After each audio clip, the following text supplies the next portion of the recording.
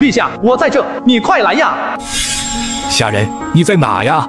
这里。哈哈哈哈！我来了。你去哪了？等等我呀！南山雪，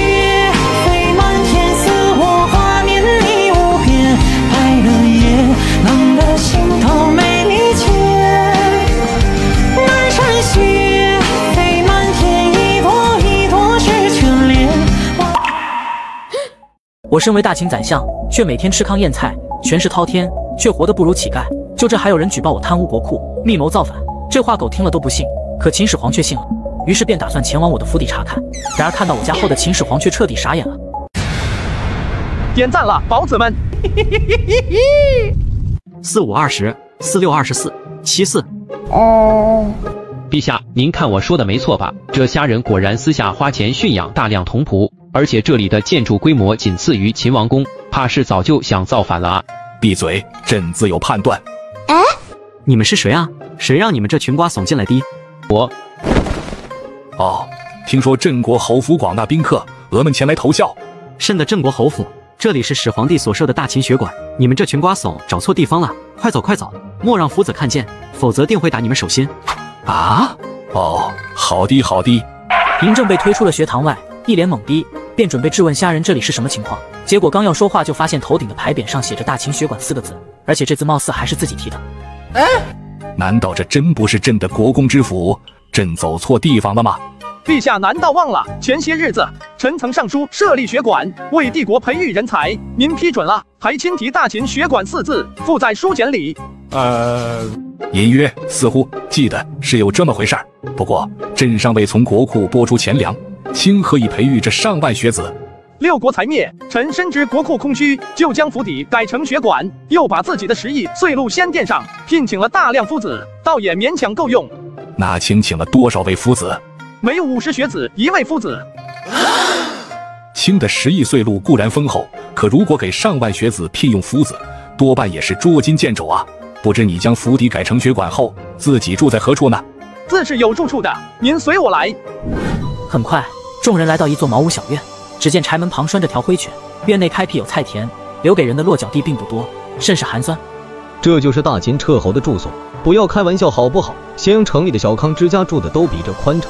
是啊，我家里的下人住的都比这好。李斯，这就是你说的贪污国库吗？拿了那么多钱财的人会住这里吗？哼！嬴政说完就走进茅舍查看，不给李斯辩驳的机会。而这一看，顿时又是头皮发麻。我早年在邯郸为质子的时候，也吃过些苦。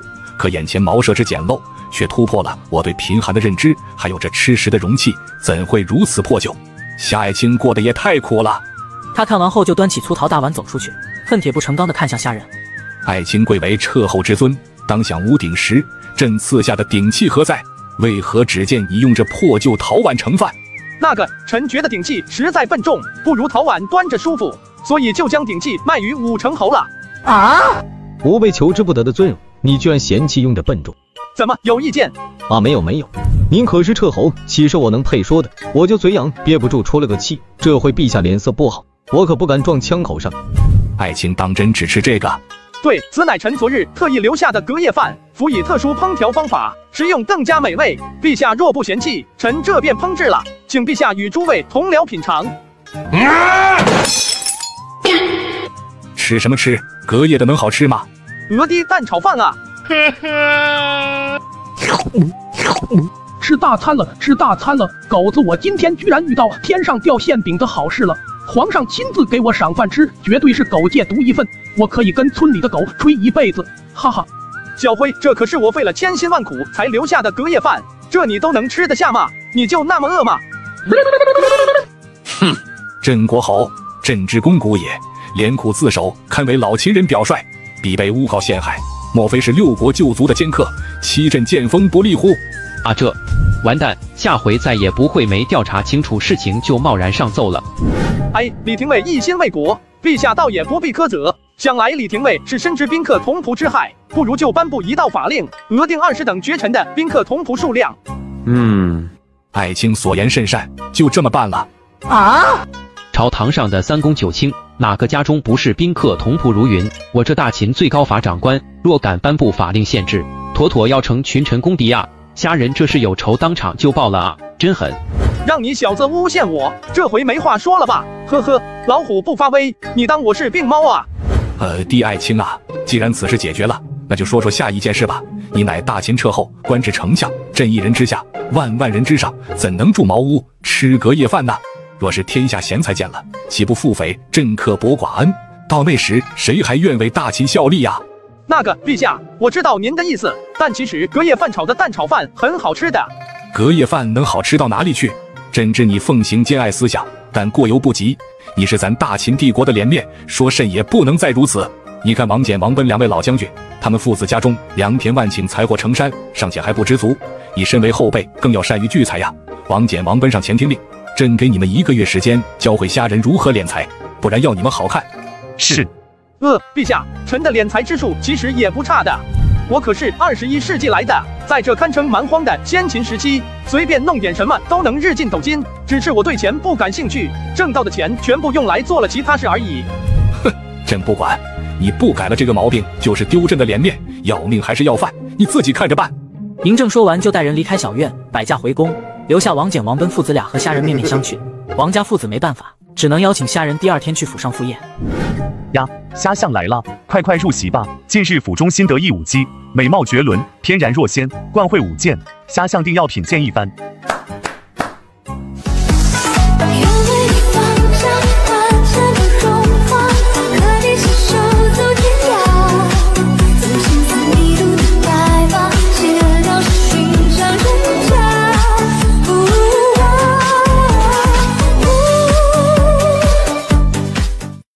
踩踩踩，这舞跳的是真好啊！虾相，此女媚骨出城，且有一身武艺，等闲男儿怕是降不住她。虾相不如收入房中，将之驯服。啊，这虞姬近前来。啊，虞姬，虞姬，你可知眼前这位英伟男儿是谁？哦，妾不知。你可知攻灭六国，三日连夺十城的华夏第一勇士是谁？你可知坚持推行郡县，遍服六国博士，让华夏再无分裂战乱之苦的是谁？你可知培育高产良种，让华夏万民再无饥馑之忧的是谁？王奔三问，也让虞姬知晓虾人的身份，立刻脸红起来。知晓，妾仰慕已久，妾见过镇国侯。无需多礼，你是楚人吗？妾正是楚人。那你认识楚人项羽吗？妾不识。哦，没有项羽衬托，虞姬也不过是个苦命的舞姬。虾相，那此女就归你了。哈哈哈哈哈哈！哇！我天，居然这么多！好吧，我撤回刚刚在王家府上的想法。你并不命苦，华夏大地上九成九的百姓都没你活得滋润。不过你确定要跟着本侯过日子吗？本侯这里的情况你也看到了。如果你现在想回武城侯府，还来得及。妾仰慕镇国侯已久，有幸能服侍左右，又怎会怕苦？我在来之前，王家父子为我入了良籍。更言明，虾人尚未娶妻，我若能捷足先登，那可就是彻侯夫人了。只要能做彻侯夫人，莫说是住茅屋、住猪圈，我也没二话。而且凭我这么多年的经验来看，没有哪个男人能清心寡欲过一辈子的。如果有，那就是找不到另一半的。虞姬是这么想的，也是这么干的，当下便服侍虾人就寝。虾人见他也要进被窝，立刻皱眉：“你多大？”啊，平日舞剑还需缠起来，否则难有平衡。自我感觉不算小吧？啊！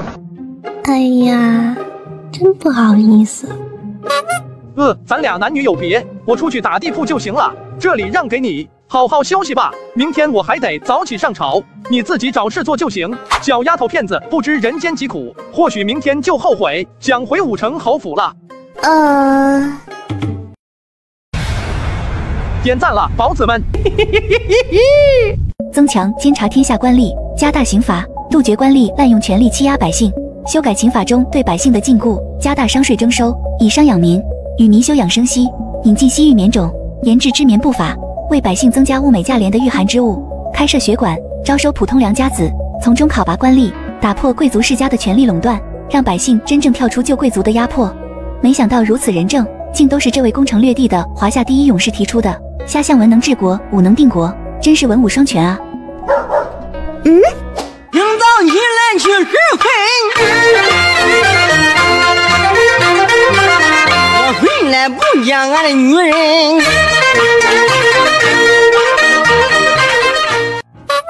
哎，大爷，你也是掏粪男孩吗？都掏到本汪家里来了！去去去，这里是本汪的地盘。宝子们遇到同行不要怕，只要像我一样先发制人，尴尬的就是他了。嘿，长者，莫要来我家门前捡便宜，那些牛马排泄物，我家中菜田也要用。主人新收的这个女娃子还挺机灵，知道感人，不错不错。不知王奔将军乔装而来，有何事吩咐？秦相可曾与你欢好？未曾，妾这两日备受冷落，恐不能改其心志。虾相这等人，便如你们楚人那位屈原大夫，心性坚毅，不为外物所动。但君子可欺以其方，你便投其所好，待他将你引为红颜知己，一切自然水到渠成。哦，妾懂了。王奔不再多逗留，又嘱咐了虞姬几句，便心满意足离去。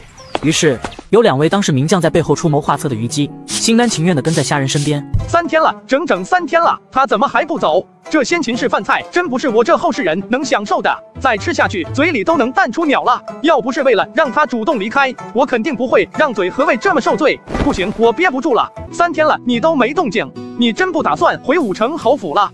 不回，妾此生跟定君子了。为何我这生活这么差，你还没吃够苦头？君子或许忘了，妾乃舞姬，近年虽凭借色艺被王侯公孙奉为座上宾，可说到底，自幼却是在苦水里泡大的。君子口中的苦头，对妾来说实在稀松平常。啊，这难道你不想锦衣玉食吗？想，但是妾更想服侍君子，让君子不必忙碌于糟蹋，腾出时间做更伟大的事情。妾前日整理屋中简读，看到了君子为华夏万民设想的盛世，到那时或许便不会再有妾这样的苦命人。有生之年若能见到那等光景，妾死而无憾。君子还需要财货开办血馆吗？切那些首饰华服或可换回一些财货，届时尽数赠君子。哦没想到你竟然还有这等觉悟呢！不过想在大秦开遍血馆，绝非一日之功。你那点东西还是留着吧。而且眼下最紧要的也不是开办血馆，匈奴近日又越过赵地长城，闯进来烧杀抢掠了。你身为楚人，想必应该经历过南越人闯进楚地烧杀抢掠，无恶不作。匈奴便与南越一般，皆野蛮夷狄，必须征讨灭之。君子要领兵征讨匈奴吗？啊不不不不不！而今国库空虚，至于是否发兵征讨，朝堂上还在商议。好，妾立刻变卖华服首饰，捐财货为将士壮行。另外，妾在咸阳城中还有些好姐妹，想必她们也愿为出征将士助一臂之力。妾这便去找她们。虞姬亲眼见过南越的罪行，很是能体会到匈奴的罪恶，所以她这次说什么也要帮助大秦。下人看着她离开的背影，暗暗点头。此女年纪尚幼，心思或许有些浅薄，但在大是大非上却已有自身见地，也难怪未来能成就霸王别姬的壮烈凄美。就在虾人感慨的时候，王翦高兴地来到嬴政身边，讲述着自己的计谋。三日前，臣将一名美姬入了良籍，送到虾相身边伺候。那美姬不止姿容绝世，更兼有文才，善于剑技，堪称能文能武。臣与臣子也为其出谋划策，助其俘获秦相之心。不过，那美姬热衷华服美事，虾相不免要破财供养了。嗯，匈奴犯边固然可恨，但发兵灭之即可。唯独虾人让我头大，堂堂大秦彻侯兼丞相，吃隔夜饭度日，朕这几日每每想起，便觉难堪不已。额是劝你钱花怎低，过得这般不堪。是啊，陛下。不过如今虾相有美姬服侍在侧，想必已然尝过各中滋味，欲罢不能。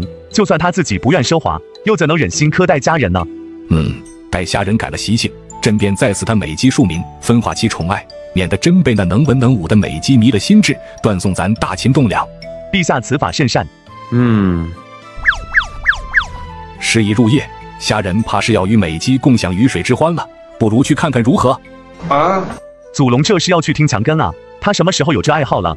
往日朕与众臣欢宴，除了虾人，众臣皆放浪，所以朕从未见虾人那般忘形。如今难得他开了窍，不看看热闹，实在可惜呀。哦。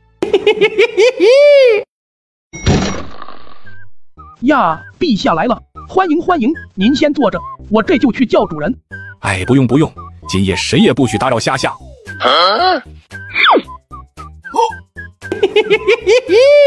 陛下亲自给本汪加餐，够本汪吹一辈子了。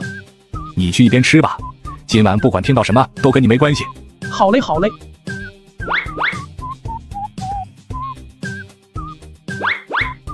哎，这么晚了，他们怎么还没熄灯啊？黑灯瞎火有甚趣味？老将军岂不知灯下赏美之乐？嘿，年轻人就是会玩啊！妾变卖首饰，筹得半两钱万枚；走访城中姐妹，又筹得半两钱近十万枚。明日便能送来，君子可用这些钱财为将士添置粮草甲械，讨灭匈奴，护我华夏太平。什么鬼？这哪是迷失虾人的心智，分明是被虾人迷失了心智啊！虽然此举确实让人感慨，但咱帝国的国库再如何空虚，也用不着你们一群舞姬捐献钱财打仗啊！门外来客，何不进屋一叙？被发现了，走吧，进去吧。啊，是你们啊，陛下，老将军，数位远迎。且见过陛下，见过老将军。哼！嬴政没好气地瞪了虞姬一眼，让虞姬惶恐不已，简直快吓哭了。虾人也看得莫名其妙。陛下何故误了这小小女娃？啊，女女娃，什么意思？难道在虾相眼中，此女只是个女娃？王翦听到虾人的话后一脸懵，一直盯着虞姬的青涩俏脸看，看着看着突然一拍大腿，失算失算了，我懂了，原来虾相是爱熟妇。啊！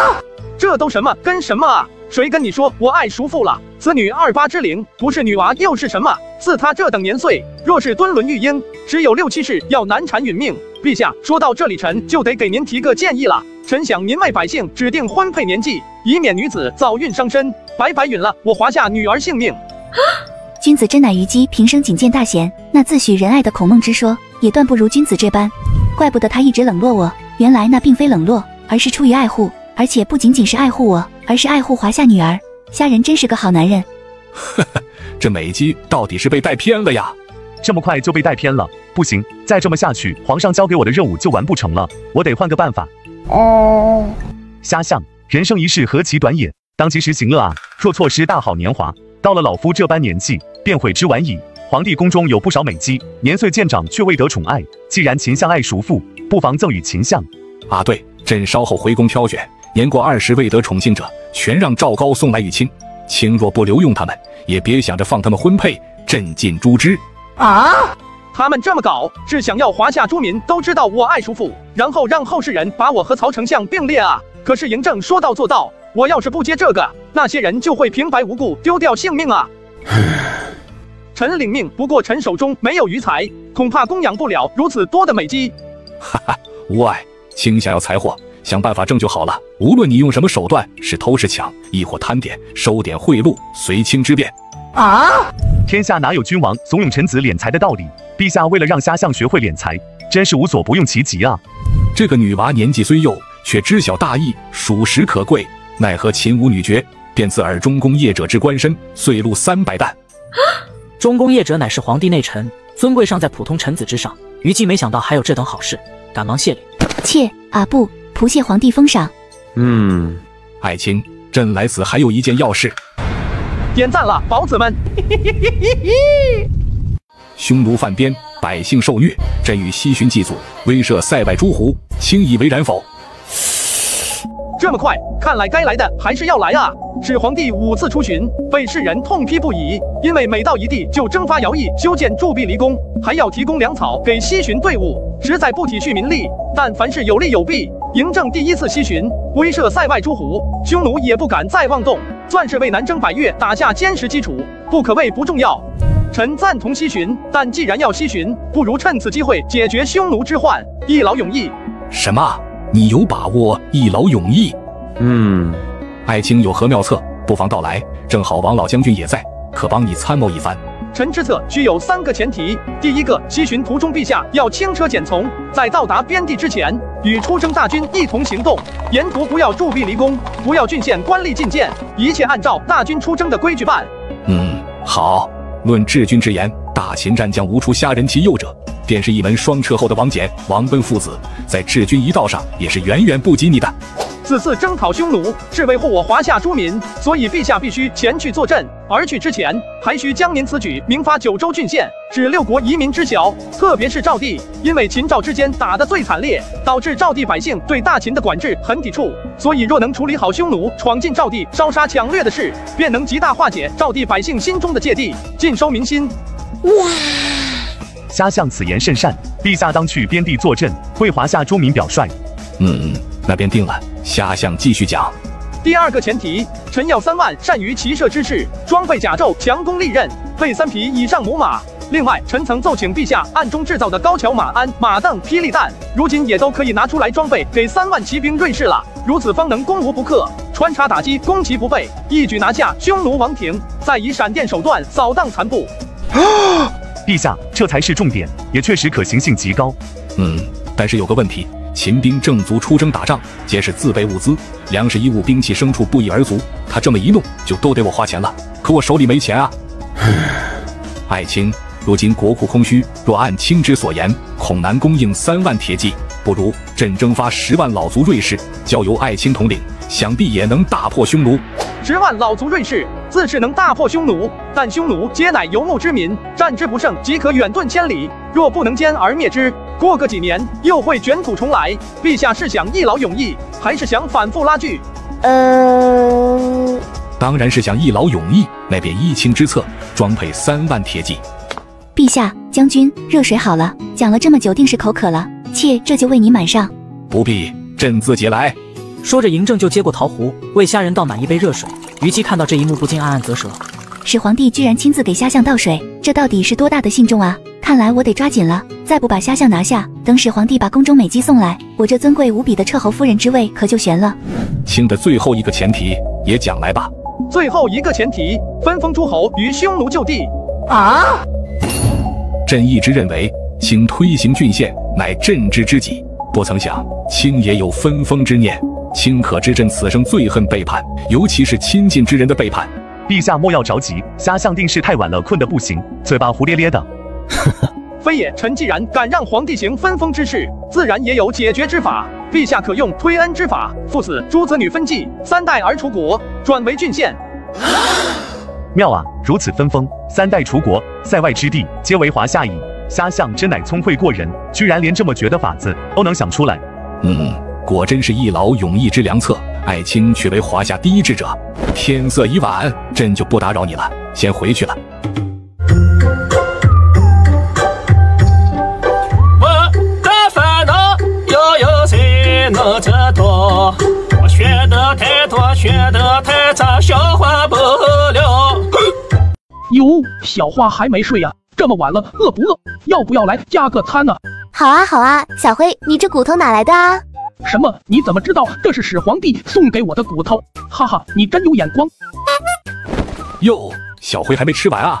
没呢没呢，陛下您要回去了吗？这么晚了，路上比较黑，我送您回去吧。这一带的狗我都认识，有我在，他们不敢吓唬您。哈哈不用不用，来来来，一根骨头够不够吃啊？朕这还有一根，你跟你的小伙伴分分吧。哎，好嘞，谢谢陛下。哇，真是始皇帝啊，你好厉害！那是，既然陛下给了我两根，那、这块赏你了，见者有份。第二天，秦王宫中就发出一道诏书，由快马传往九州郡县，乃至乡里亭甲，晓谕华夏诸民。匈奴犯边，闯进赵地，烧杀抢掠。朕要亲自领兵征讨匈奴，拯救赵地百姓于危难，护佑华夏诸民。此次征讨匈奴，不征更足徭役，只征募善于骑射之士为正卒，无需自备物资。华夏诸民若有愿为出征而狼助威者，可自发捐献财货粮草与郡县，再统一运往咸阳或赵地边境。陛下，臣已经征调到母马，并且从老秦人中征募到了善于骑射者。大秦少府间也按照虾相的要求，全力制造马鞍、马镫、霹雳弹、马甲等。嗯，虽然做完这些，国库里那点可怜的家底又肉眼可见的消失了，但好在有无数百姓捐献财货粮草，为出征儿郎壮行助威，朕心甚慰。赵高，如今我大秦百姓都慷慨解囊了，那大秦的官吏勋爵们更要做起表率了。你知道什么意思吧？知道的，陛下。诸位，陛下的意思我已经传达到，大家商量一下捐多少，各自送去给侠相即可，由他调配。啊！我是大秦最高法长官，要以身作则。平日不敢聚敛财货，一家人全靠碎禄过活。前次得罪虾相，已经出了不少血，家中已然入不敷出。再捐下去，我全家真要喝西北风度日了。哎，此次是陛下亲征，需要财货粮草，咱们做臣子的总归是不能太小气，还是勒紧裤腰带，再捐一些吧。吾先回家中准备财货了，诸位自便。既然猛将军都如此说了，那吾等也不能落下，吾也回去准备了，告辞。我也是，告辞。众臣都陆续回家准备，李斯无可奈何，只得垂头丧气回家。翻箱倒柜的又凑了一万枚半两钱，亲自送往镇国侯府旁边的茅舍。可他走到半途却被一群人堵住了去路。清香扑鼻，沁人心脾，真是仙茶啊！还有此器具似玉非玉，内嵌金漆彩绘，当真华美。嗯，不错，当真是美器也。不过那里面泡的是茶，是的，此乃炒制而成的茶叶，君子可要品尝。那就却之不恭了。果真仙茶也。啧啧，美娘子，你在此处设茶摊，想必也不是消遣炫耀吧？说个价钱，鹅便买了你回家。嘿，你这人怎么这么大煞风景？是个人就想往家带，你就这么饿吗？切，用你管！美娘子，你就说行不行吧？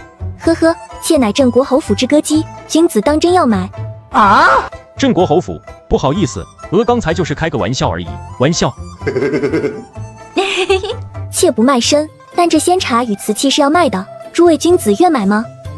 真的？那当然要买，美人没求到，但如此宝气仙茶也不能错过。作价几何？不用说价格，有多少额全要了。就这品质，外面根本买不到。人群顿时热闹起来，都争抢着要买茶具和茶叶。李斯看这情况，悄蔫的把手中瓷杯藏进袖子里，趁乱退出人群，站在外面看热闹。等女人全部卖完后，他就招招手，便有两个人从天而降，帮他收好今日所收财货，走进远处的镇国侯府。嘿，虾仁啊虾仁，亏得皇帝夸你连苦自首，原来财货都藏在侯府内。呵呵，这次看你如何狡辩。牛夫，不用去虾相家了，你现在立刻把牛车赶回家。主人不回家吗？不回，本廷尉便在此等候，阻拦捐献财货的同僚，向他们揭露那厮虚伪面目。好的，主人。点赞了，宝子们！赵高啊！朝中爱卿们都捐献了多少财货粮草？这……呃，有话便讲。左丞相王绾捐献黍米三斗，廷尉李斯捐半两钱八枚，郎中令能一捐腊肉两斤，内史大夫捐麻衣一件，大司农……什么？瓜怂欺人太甚，这是把朕当钱打发呀！纵然是咸阳城里的乞丐头，收到如此捐赠，按理都要骂一声一群穷逼。陛下息怒，想必诸位同僚也是有苦衷的。其实我也是私下得到李斯的传信，说虾仁已经把出征需要的钱财准备好了，大家只要再一丝一丝就行了，所以只捐了一担草料。反正天塌下来有个高的顶着，不先殃及我就行了。哼，传，把那群瓜怂都给朕叫来。待三公九卿、文武两班到来后，嬴政突然发现臣工们一个个衣衫褴褛，补丁落补丁，简直比乞丐还乞丐。呵呵，装穷是吧？说说都有甚苦衷？臣等有罪。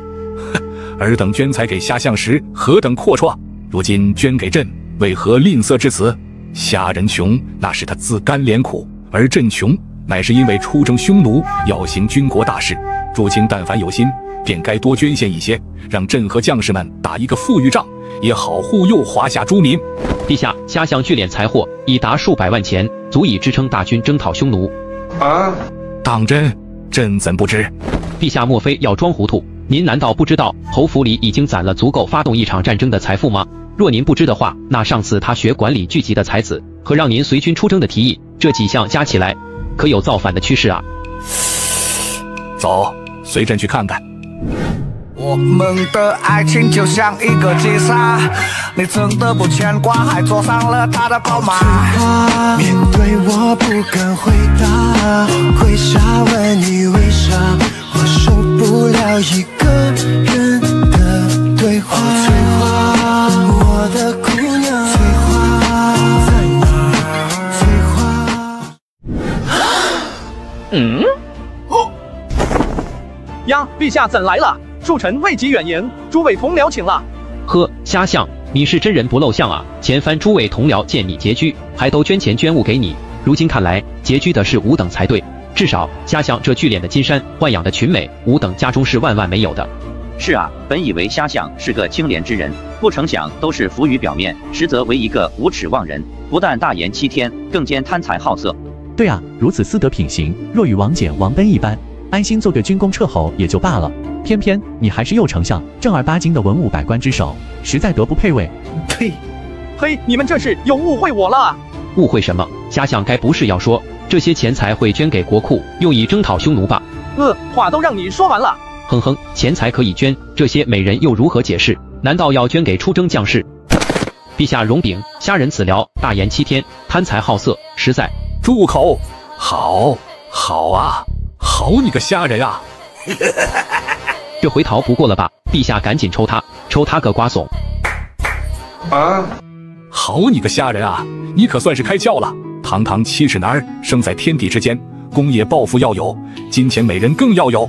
日后万不可住破茅屋吃隔夜饭了。金钱美人若不够享用，便再狠狠的捞。啊！狠狠捞是啥意思？有你这么当君王的吗？你家亲儿子扶苏也没见你这么惯着啊！陛下怎么如此癫狂啊？天啊！我到底碰见个什么君王？陛下莫要玩笑，钱财是臣贩卖商货所得，并非捞取。至于这些美人，是陛下让赵高将军从宫里送来的，您不会忘了吧？啊？哦。我确实让赵高在宫里挑选上了年纪的人塞给虾人，本意是逼着他学会敛财来供养他们。现在看来，目的似乎达到了，但又似乎有那么点不对劲啊。爱卿前两天还穷得不行，怎今日就突然能有数百万钱财？你是贩卖何等商货，竟获利如此大？臣曾向宫里送了一套瓷器，一斤与钱茶，陛下不也甚为喜爱吗？嗯。那确实是难得一见的宝物，你不是说造出来需要很长时间吗？对的，所以臣又研究了个新法子，使得瓷器和雨前茶都能量产了。不过一下子太多，又不知该如何贩卖。而恰巧陛下此时送来这许多美人，臣便教授他们用瓷器泡茶，上街推销售卖，倒也颇受豪客欢迎。而且臣发现他们身负学识，在学馆教授蒙童绰绰有余。朕送来的累赘，在虾相手中却成了人才。虾相真是大才呀！李斯，你第二次诬告，哎，居然在朕的眼皮底下睡觉，把他弄醒！醒醒，你要被扣工资了！你儿子造反了，你九族保不住了。刚刚我隐约听到虾人的解释，知晓又误会了他，现在还被陛下点名了，这我敢醒吗？我能醒吗？嘿，还不行！咦，哪来的孽畜，竟如此放肆，敢在我李斯？陛下，臣有罪，臣愿捐一万枚半两钱，助陛下与虾相征讨匈奴。嗯，呃，那个不是一万钱，是十万钱。回去把府邸卖了，再找人借一些，或许能凑够十万钱，然后全家人喝西北风吧。嗯，再一再二不再三。若再敢诬告镇国侯，朕定不饶你。对了，还有一件事，李廷伟不知道吧？嗯，何事？韩非也在我这学馆中任教，教授法家之学。啊？什么？他还没死？嗯，呀，朕自从有了虾相这位真正的几百家大成者的人物后，就把韩非这样的人物给忘到脑后了。不知韩非现在还在教学吗？玄来与朕相见啊！人才嘛，什么时候都缺。既然才能超越李斯的韩非还活着，自然要用一用。完了，陛下一旦重用他，我可能就要被抛弃了。都怪我嫉妒心太强了，惹了虾相厌烦，以至于落到现在的地步。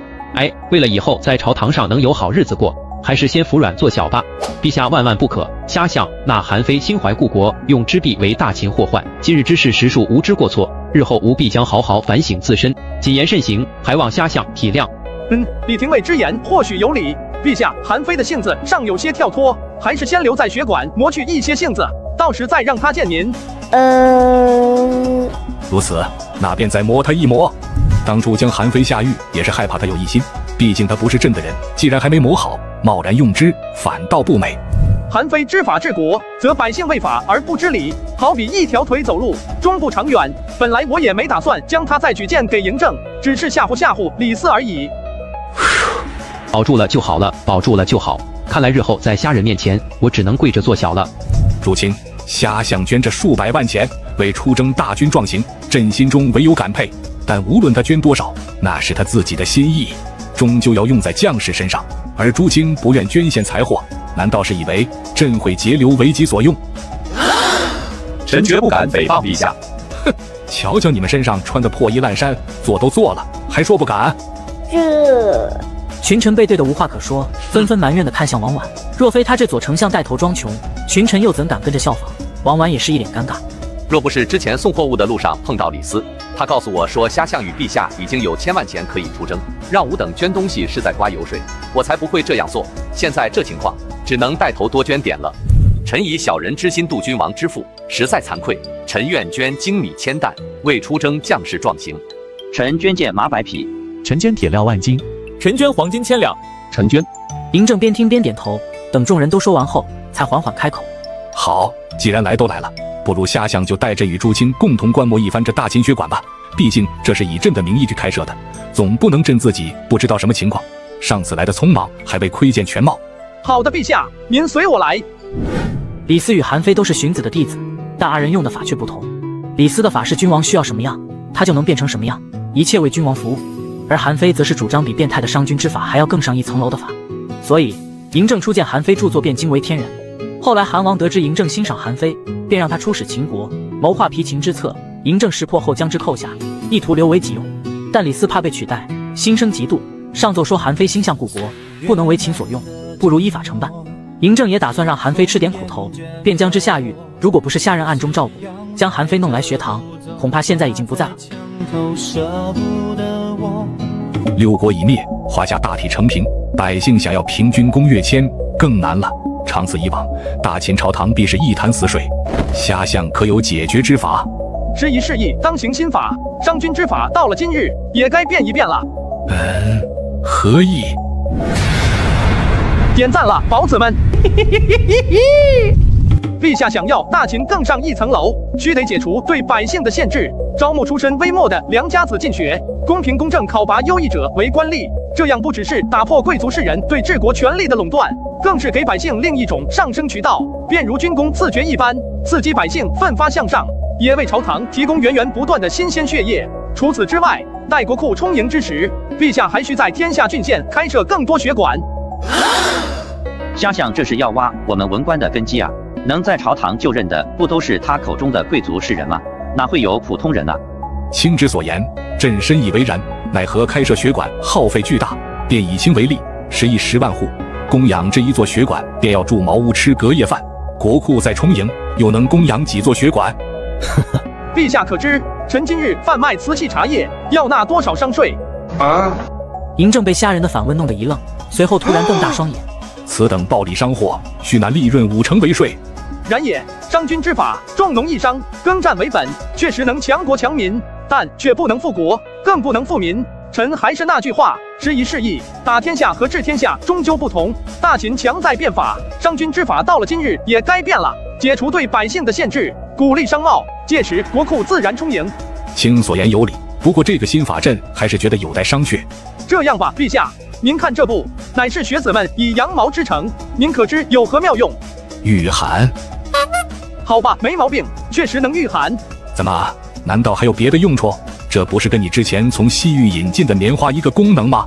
对，是，但棉花生长期间起强光，也只有在西域种植才能高产。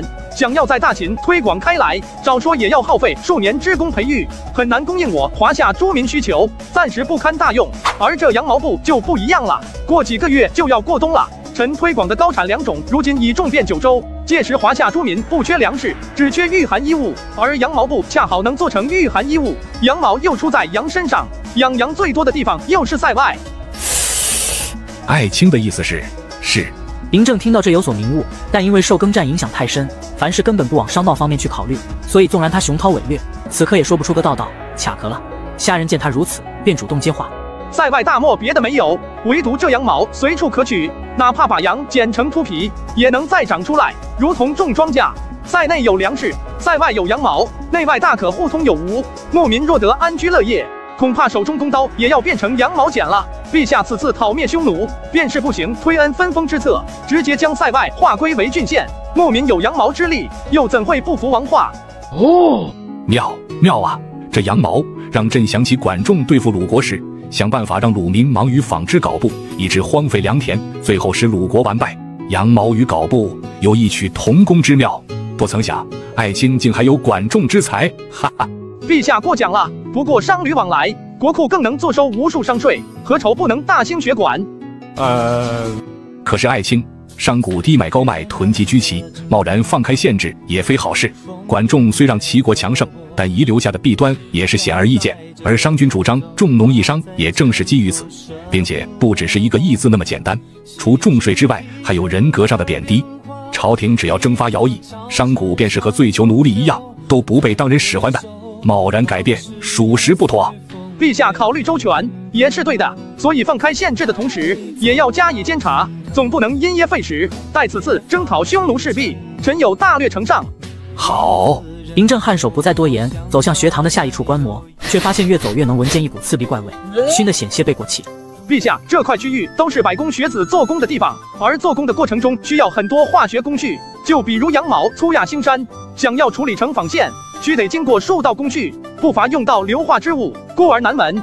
原来如此，那他们又是在干嘛呢？哦，他们在研制造纸印刷之法。何谓造纸印刷？字为纸，工艺尚不成熟；字为活字，可随意排列，用以在纸上印刷字句。这也太神奇了吧！我们用的竹简都是笨重不便，单单写完一部《论语》就能装一车了。可若是用眼前这物，岂不是只要一个盒子就能装下了？爱卿，这薄如蝉翼的神物是如何制成？桑麻葛皮炮制成浆，倒在绢纱上一层，待其晾干，便是一张纸。啊！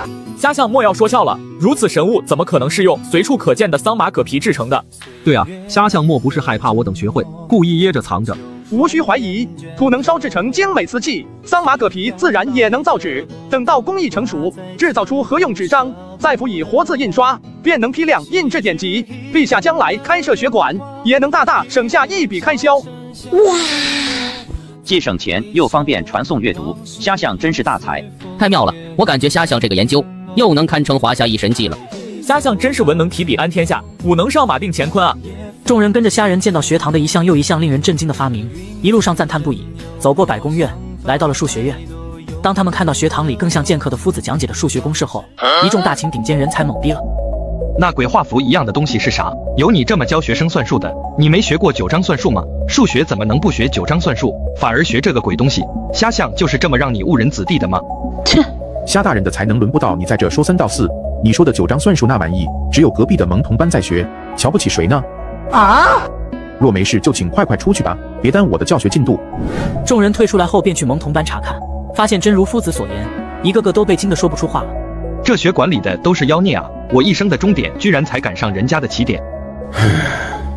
不错，爱卿所设学馆与众不同，朕必将之开遍天下郡县，无论花费多少。谢陛下，如此则大秦强盛，更胜往昔。这位大人，你方才大言凿凿，质疑算学夫子的学问，想必也是精通此道吧？呃，下官粗通九章算术，却不知世间高人多矣，属实梦浪了。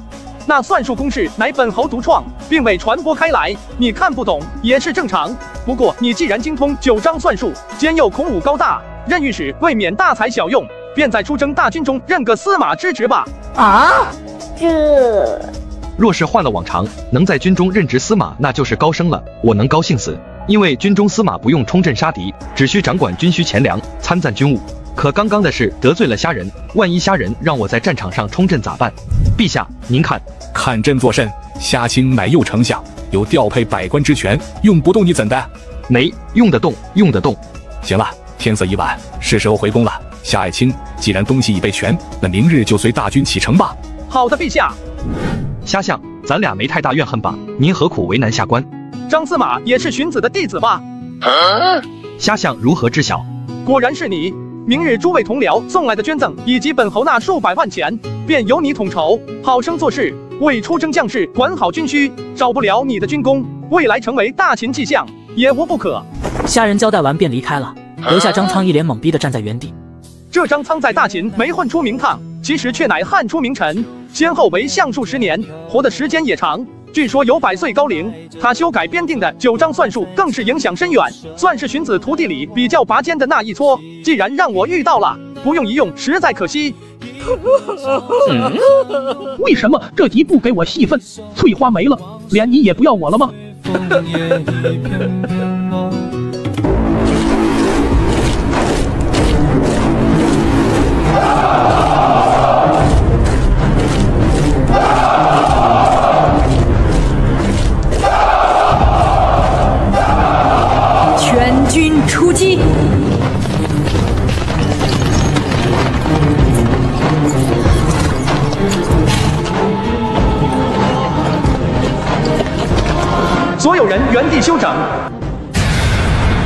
点赞了，宝子们！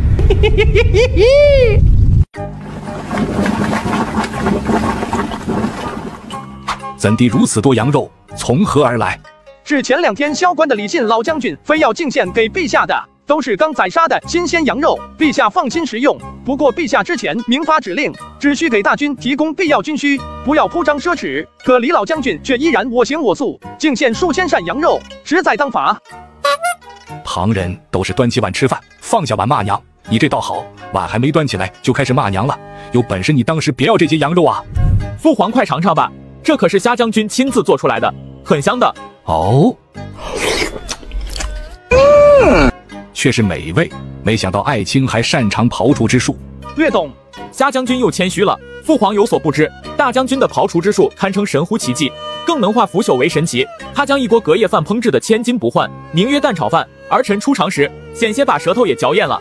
扶苏在刚见识到虾人的勇武才能时，就将虾人当做了偶像，时刻关注着他的动向。当听虾人汇报他亲自下厨做饭时候，就赶忙去吃过一次，自此对虾人更加佩服，成了他的小迷弟。而嬴政听到隔夜饭仨字，却是愣住。朕初次去虾人居住的茅屋时，不也正是看见一碗隔夜饭，才心生怜惜，大发雷霆吗？那蛋炒饭比之此汤，孰优孰劣？蛋炒饭更加。对对对，陛下，我主人的手艺可是无人能比的，平常我想吃都得求他半天。亏得朕之前还联系你，原来小丑竟是朕自己，朕也要吃蛋炒饭。好的，回头有了隔夜饭，臣便烹制，请陛下品尝。哼。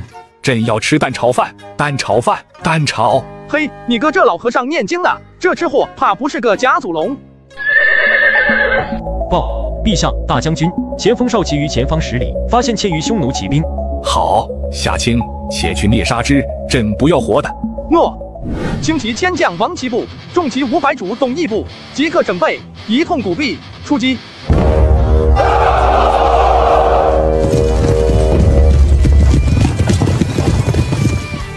扶苏跟去参战，是。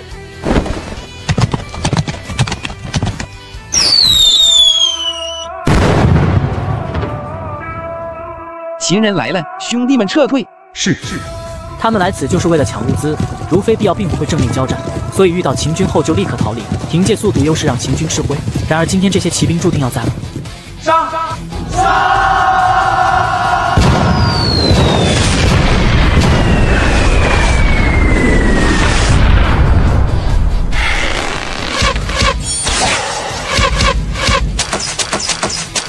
哎，你干嘛？剑跟狗分不清了吗？快放我下来！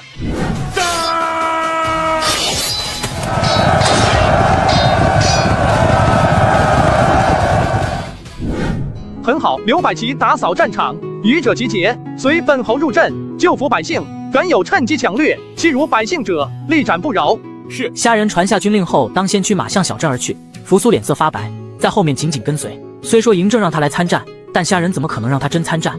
为了护他周全，虾人自己都没敢上阵。待虾人率军进入小镇，一路所见尽是无辜离世的大秦百姓，场面令人触目惊心。各自散开，寻找存活百姓，扑灭燃烧房屋。快马告知陛下，让医疗兵尽快赶来。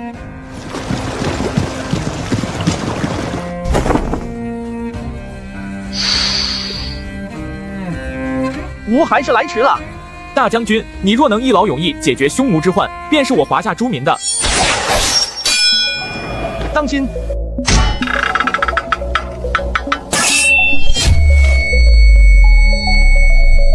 公子速走，屋中还有人。呵！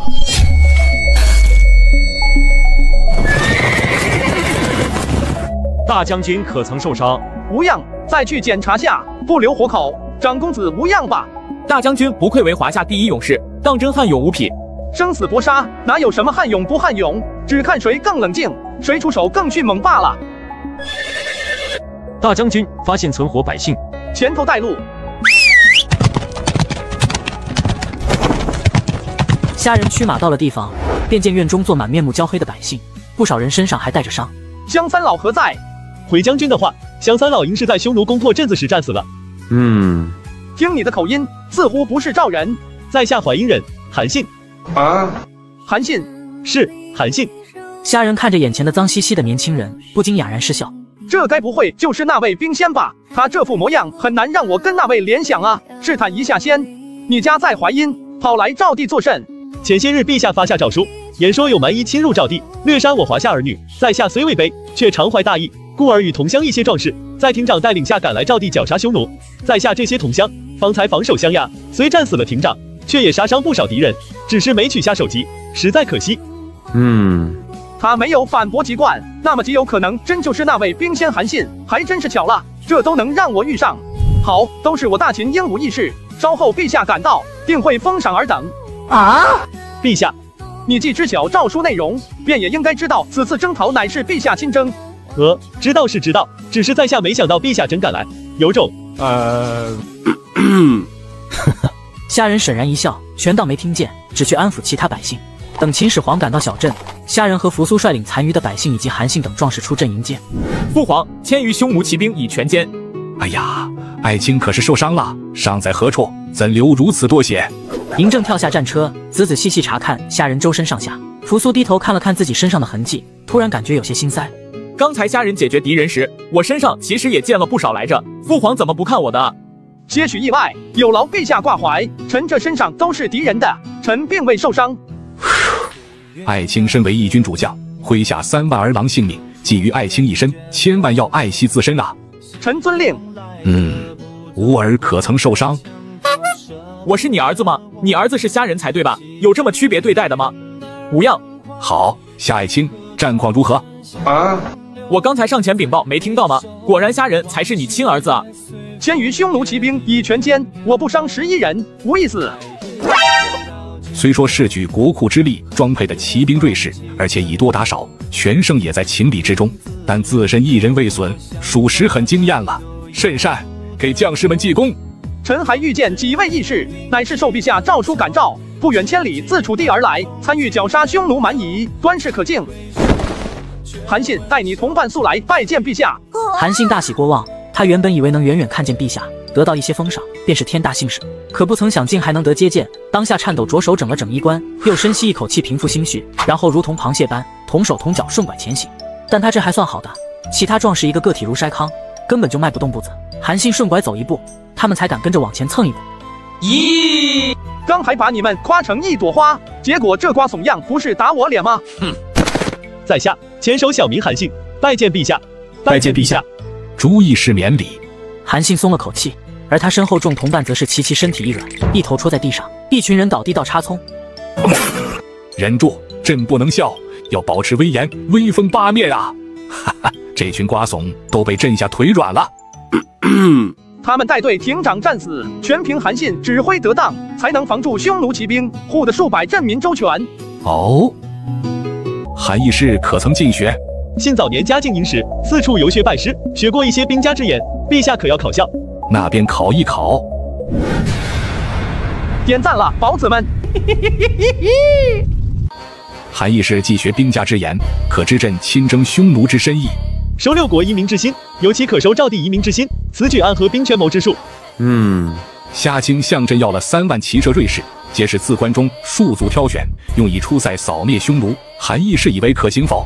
大将军用兵暗合兵技巧之术，以专精之势摧敌强项灭之。不过挑选拼凑之军理应多加磨合整训，使之万众一心，否则十成战力用不出六成。韩信先是肯定虾人的用兵之法，随即又话头一转，点出不足之处。嬴政愕然，韩信可是虾人举荐过来的，可他居然敢当着虾人的面挑刺，这般不顾情面，多少有点过河拆桥的意思啊。不过不得不承认，这小子确实言之有物。我还是第一次发现虾人有不如人之处，有戏看了。嘿嘿，嘿，我的偶像有错，我腹诽可以，但从别人嘴里说出来可不行，更何况他的挑刺还不成立。韩义士多虑了，大将军治军有法，早在自咸阳出征之前，已将这三万骑士磨合完成。你可知大将军用的什么法子？哦，您曾听闻大将军治军言中有词，若是麾下儿郎为父兄子之，自能万众归心。呵呵，你说的也对也不对，若只按你所言，将士敢战与否，皆取决领兵大将一人。而这三万骑士出塞作战，少不得要分进合击。难道将士们离了大将军，便不要作战了吗？啊！韩信这次是真被问住了，他到底没有真领过兵，许多东西还无法与实际融会贯通。便是嬴政也心生好奇，下人是怎么做到在短时间里让三万来自不同地方的将士，没有主将也能发挥战力？扶苏见两人被吊足了胃口，便也不再卖关子。大将军入营当日，便令三万大军分成三十个千队，比赛骑术，往返三十里，前五十肉，余者十糙米。各千队争功，一味图快，途中不管掉队袍泽。大将军边吃有袍泽掉队的千队，不给他们计算成绩。如此，第二次比试时，各千队便团结，不愿袍泽掉队，军心凝聚已成。哦，善，甚善，如此治军才是真正的言中有词。大将军不愧为华夏第一勇士，心不如意，但心还有一言。讲。信听闻塞外荒漠苍茫无有方向，匈奴不足分散其间，如何能准确打击？若是迷了方向，不得水源，岂不置大军于死地？韩信好话没落地，便再次挑了个刺，而且是非常致命的刺。不愧是兵仙啊，考虑的就是多。就像后世汉武帝时，资历较浅的卫青霍去病都能封侯，为啥飞将军李广不能？因为前面就生俩没迷路，而李广老迷路，晕头转向，疲惫时被匈奴趁势打击，白白葬送麾下将士性命。不过我是谁？我可是穿越者，指南针这东西我早就造出来了。嘿嘿，你说的好像有几分道理，那你可有解决之法？信早年游学，曾在邯郸见过一种奇巧之物，其以特殊矿石雕琢成勺，将之置于平台，大力旋转，最后皆会指向南方，故名曰司南。出塞大军可用之辨别方向。至于水源，信以为唯有用笨方法。蒙恬大将军驻守边境，想必也在搜集记录塞外水文地理。出塞大军可按记录好的水源地进军。嗯，此子之韬略，胜过大秦现有九成军将。陛下可要任用？而若愿入仕，便在此次出塞大军中任左司马之职。信啊不，末将谢陛下封赏。好，其他义士不计生死名利，千里而来抵御匈奴，堪为可敬可佩，皆封不更之爵，战死者封于此职。哦，谢陛下封赏。安排好众人后，大军便在镇外驻扎，虾仁则是领了一些将士以及残余的镇中百姓们去掩埋遇害百姓了。嬴政忙完后也马不停蹄的赶了过来。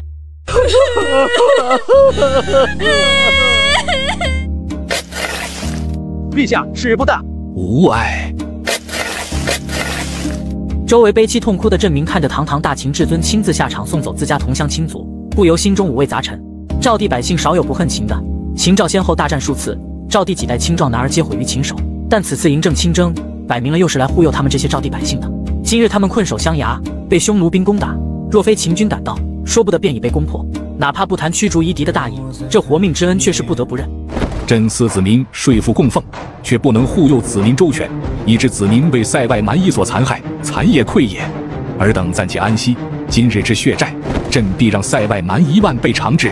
明月繁星共建，朕誓灭匈奴诸胡，誓灭匈奴诸胡，誓灭匈奴诸胡。此刻，不管是悲痛不已的赵明，还是谦逊温和的扶苏，身上都冒出凶蛮之气。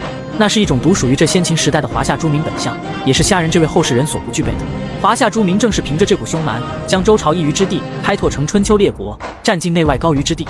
等众人散去后，嬴政跟下人又在镇外军营视察了一番，问了下人一些问题。夏卿，朕观你本心洒脱，世间荣华名利，卿皆不甚在意，便是旁人求而不得的权势，似乎也不甚热衷。卿之洒脱，几如神奇，俯瞰世人，但偏偏。卿心中又似有大悲大慈，纵观古往今来，似卿这般爱护近代前手小民者，朕莫说是见，便是听也没听过，这是为何？卿为何如此矛盾？啊，这其实，呃，其实什么？其实人性本就矛盾，陛下想那么多干啥？对呀，陛下，您想想，人活一世就那么短短几十年，肆意洒脱是一天，悲痛哀叹也是一天。只要咱们追随本心，过得逍遥快活就好了。似乎还真是这个理。好了，陛下，时候不早了，您早些休息吧，明日咱们还要继续赶路的。好。两人分别后，嬴政在赵高的服侍下洗了一个热水澡，然后扶苏带着热气腾腾的红烧马肉盖饭来到嬴政身边。父皇，今日缴获死马伤马甚多，火头军烹了红烧马肉，给全军将士添夜食。儿臣也给您带了一份。好，今日战况如何？详细道来。儿臣与大将军赶到时，匈奴骑兵正劫掠此阵，集结欲逃。大将军令轻骑千队拦截，以骑射对骑射，叽里呱啦，叽里呱啦。哦，怪不得夏青一力主张用骑兵讨伐敌人，确实打得干净利落，倒也不枉耗费。不过你并未上阵冲杀，因何弄得一身血污？儿臣与大将军得胜后入阵，收敛被匈奴兵残害的百姓时，遭遇掉队的匈奴兵偷袭。幸亏大将军悍勇，护住儿臣，否则儿臣怕是再也见不到父皇了。扶苏越说越后怕，脸色又有些发白。嬴政倒也理解他的感觉，并未责怪他怯懦，只是道：当年荆轲与秦舞阳假借献图刺杀朕，也是凶险无比。事实众臣皆惊手足无措，而夏清那时只是朝堂上的末位武将，上殿不得佩剑。若非他毫不迟疑冲上壁阶，赤手空拳解决掉荆轲，朕多半也是凶多吉少。大将军之神勇，古今罕有。咱们父子皆承他活命之恩情啊！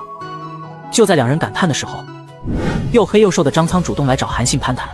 韩司马有礼，吾乃右司马张苍，咱们日后便是同僚了。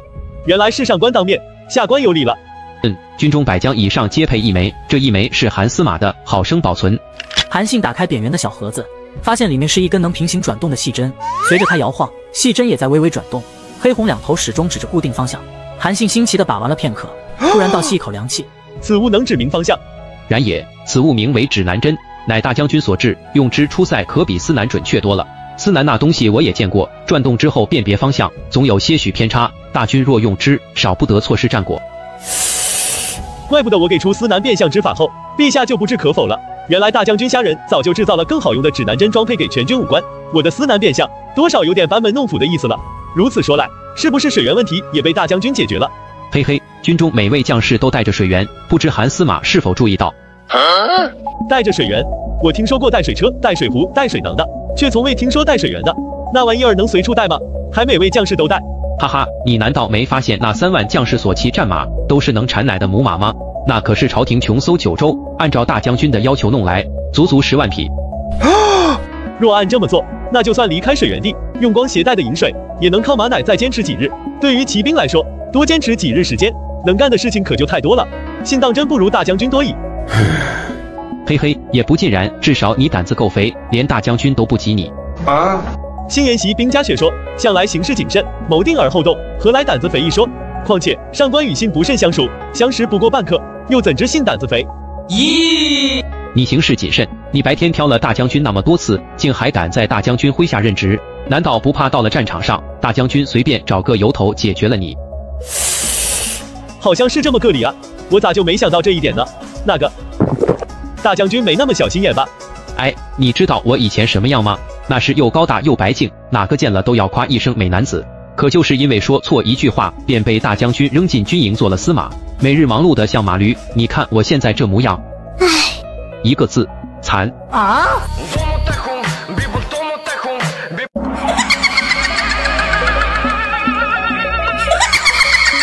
上郡县至夫师城外十里坡，上百匈奴骑兵带着宝掠的财货、粮食、器具等，沿着坡下道路快马疾行，数个茅草捆扎成的大火球自坡上滚落而下，封住两条道路。哼！蒙住马眼，冲开火球，冲出去！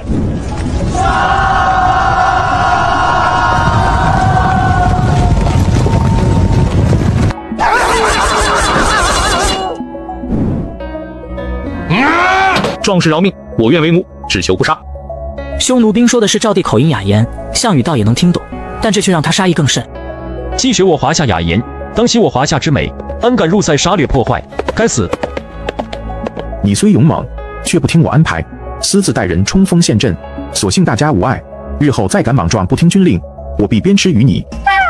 胜夺胜嘛，伯父何须如此疾言厉色？你秦军来了，伯父怎么办？你在这稍安勿躁，带我先去看看。点赞了，宝子们！在下项梁。吾等乃楚地义士，前来绞杀匈奴，不知诸位将军是哪部兵马？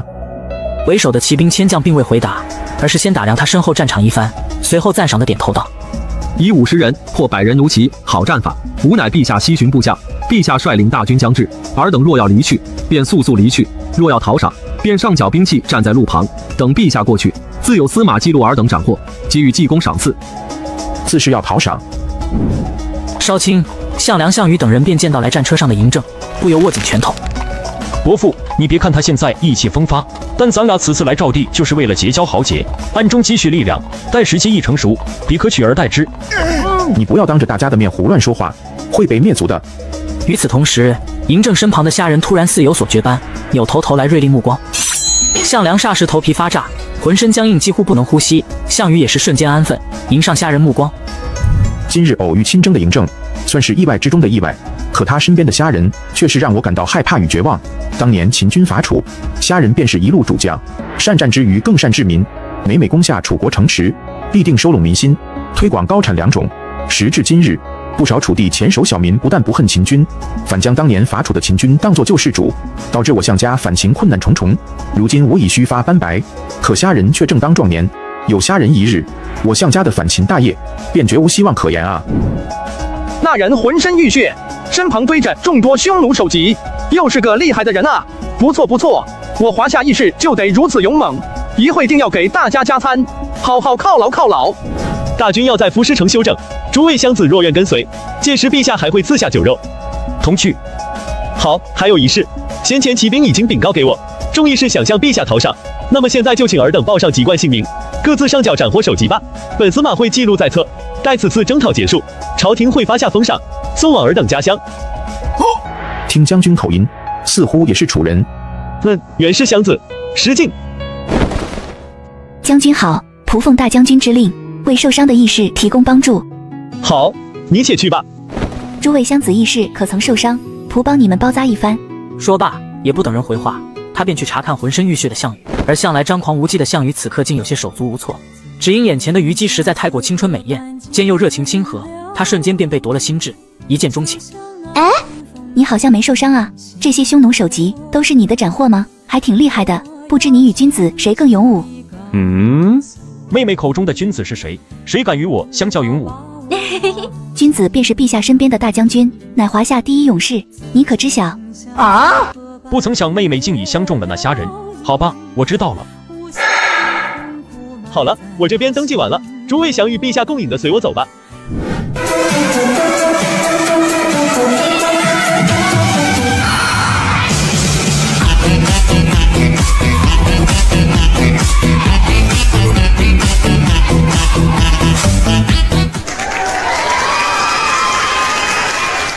陛下威武！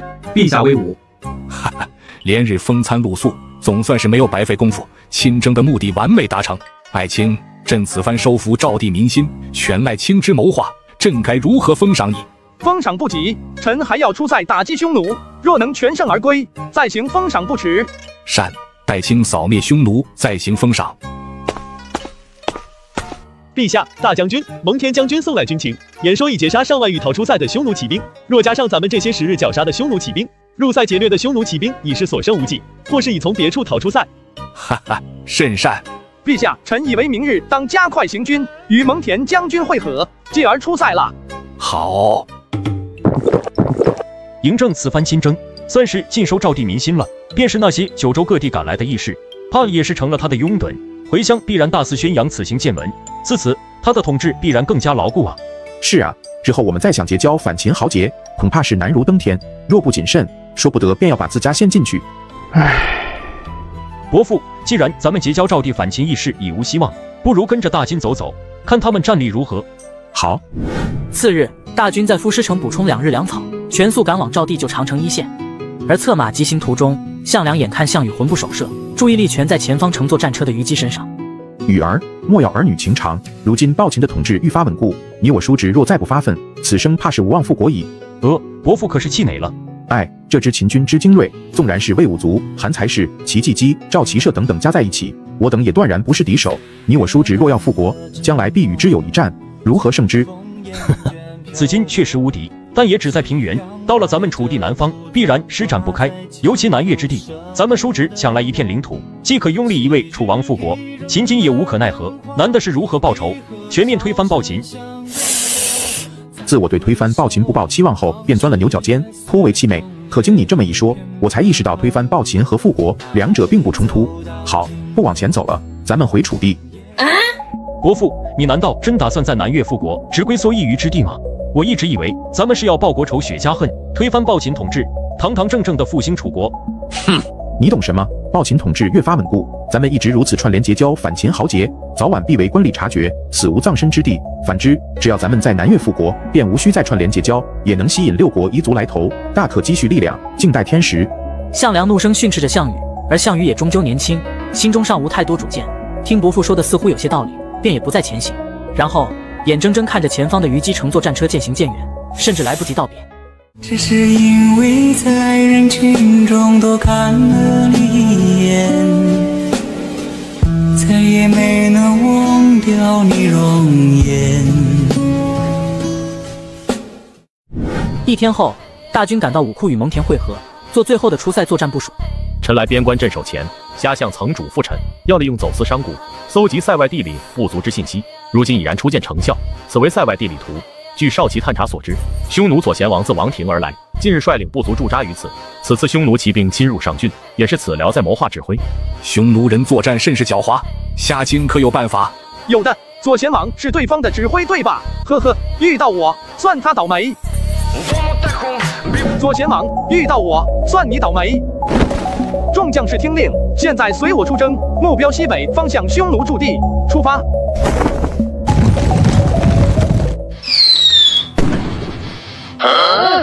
东南方向有超过万人以上的骑兵疾驰，秦军出塞杀来了，大家莫要再管牲畜，速速向王帐集结。一时之间，所有牧民像受惊的兔子一般，都向王帐方向逃窜。而王帐内的左贤王默读，则是派出三千骑卫出营阻击秦军骑兵。但好巧不巧，仓皇逃回营地的大批牧民竟阻塞了三千骑卫出营。一方想往里挤，一方想往外出，两方拥挤成一团，好不混乱。你们这些愚蠢家伙，都想被秦军杀死了！再有敢挡路者，斩！一群乌合之众罢了，杀！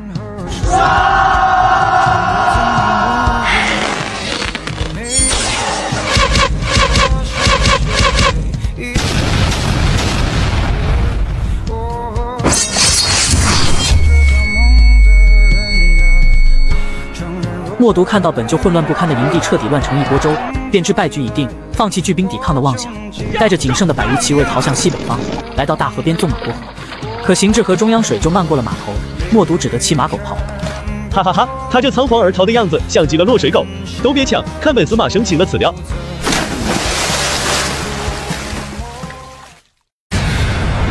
点赞了，宝子们！嘿嘿嘿嘿嘿嘿大将军、长公子，此僚便是匈奴左贤王，如何处置？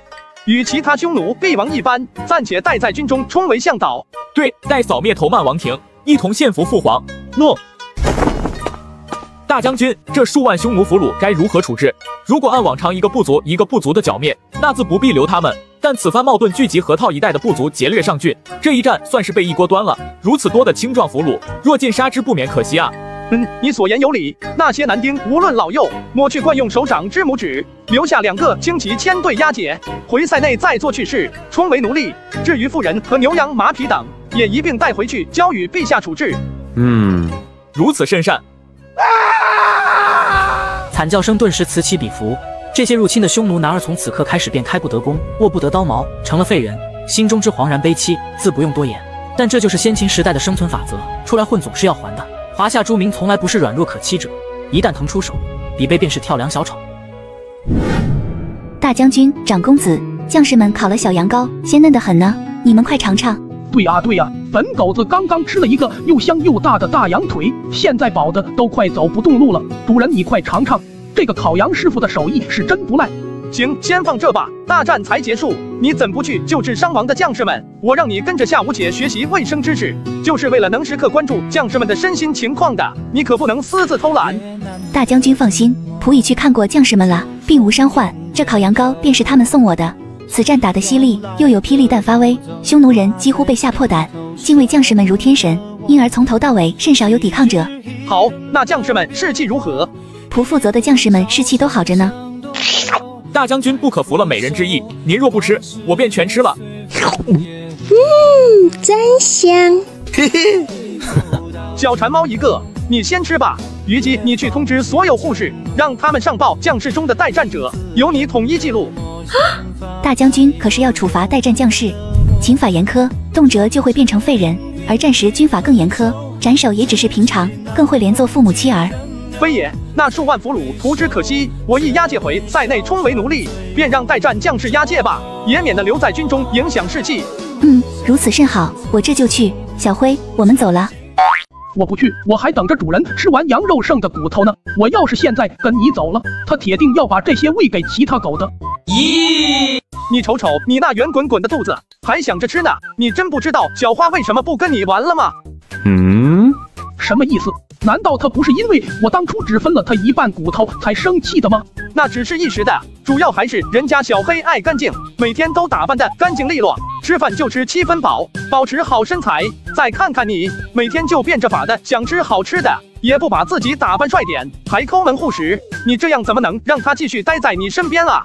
啊，这你说的好像也有道理，可是我狗生就两大爱好，吃和玩。若是为了一个小花就损失一个爱好，那也太残忍了吧？小花狗常有，像本狗这么优秀、没有不良嗜好的狗不常有啊。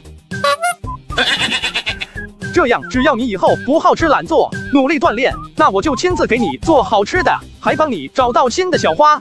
真的，那主人你可不能反悔啊！他们都听着呢。放心吧，主人什么时候骗过你？好，虞姬姐姐，咱们走吧。大将军，你以后做饭时候能不能带上我？我也想吃。自从上次吃完蛋炒饭，我就再也看不上御膳房那些厨子做的饭了。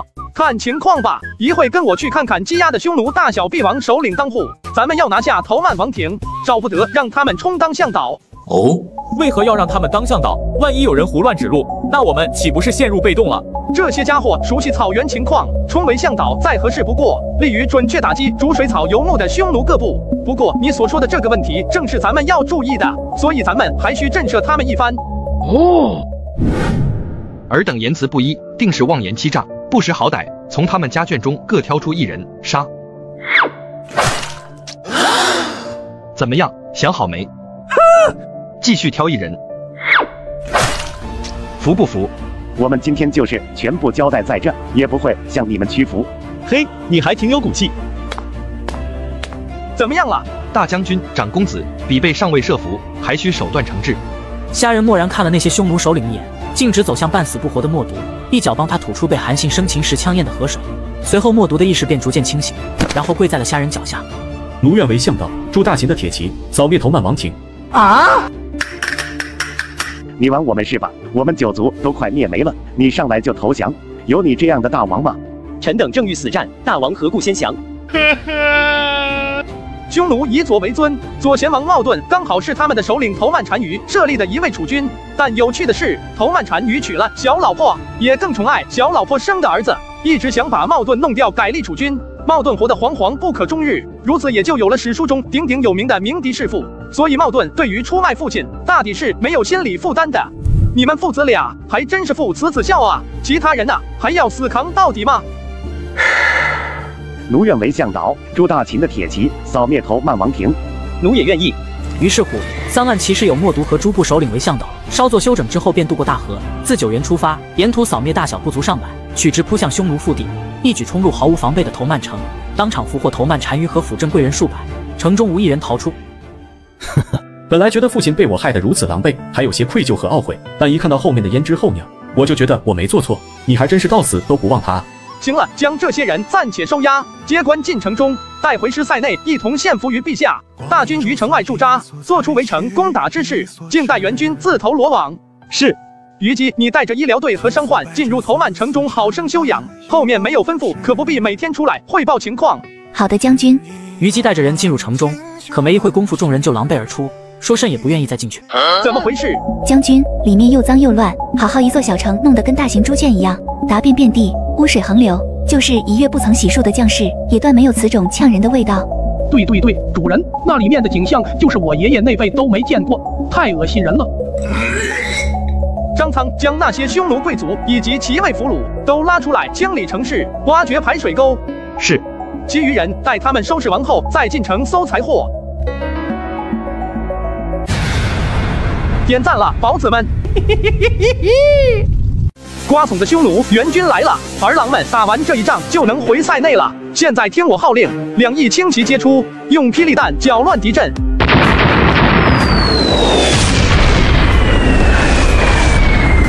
对面不讲武德，刚上来就打这么猛，我们完全没有反应的时间。骑兵攻！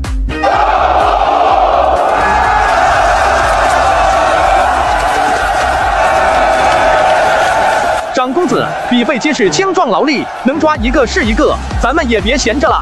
正该如此。终于轮到我出手了。这一天，我等很久了。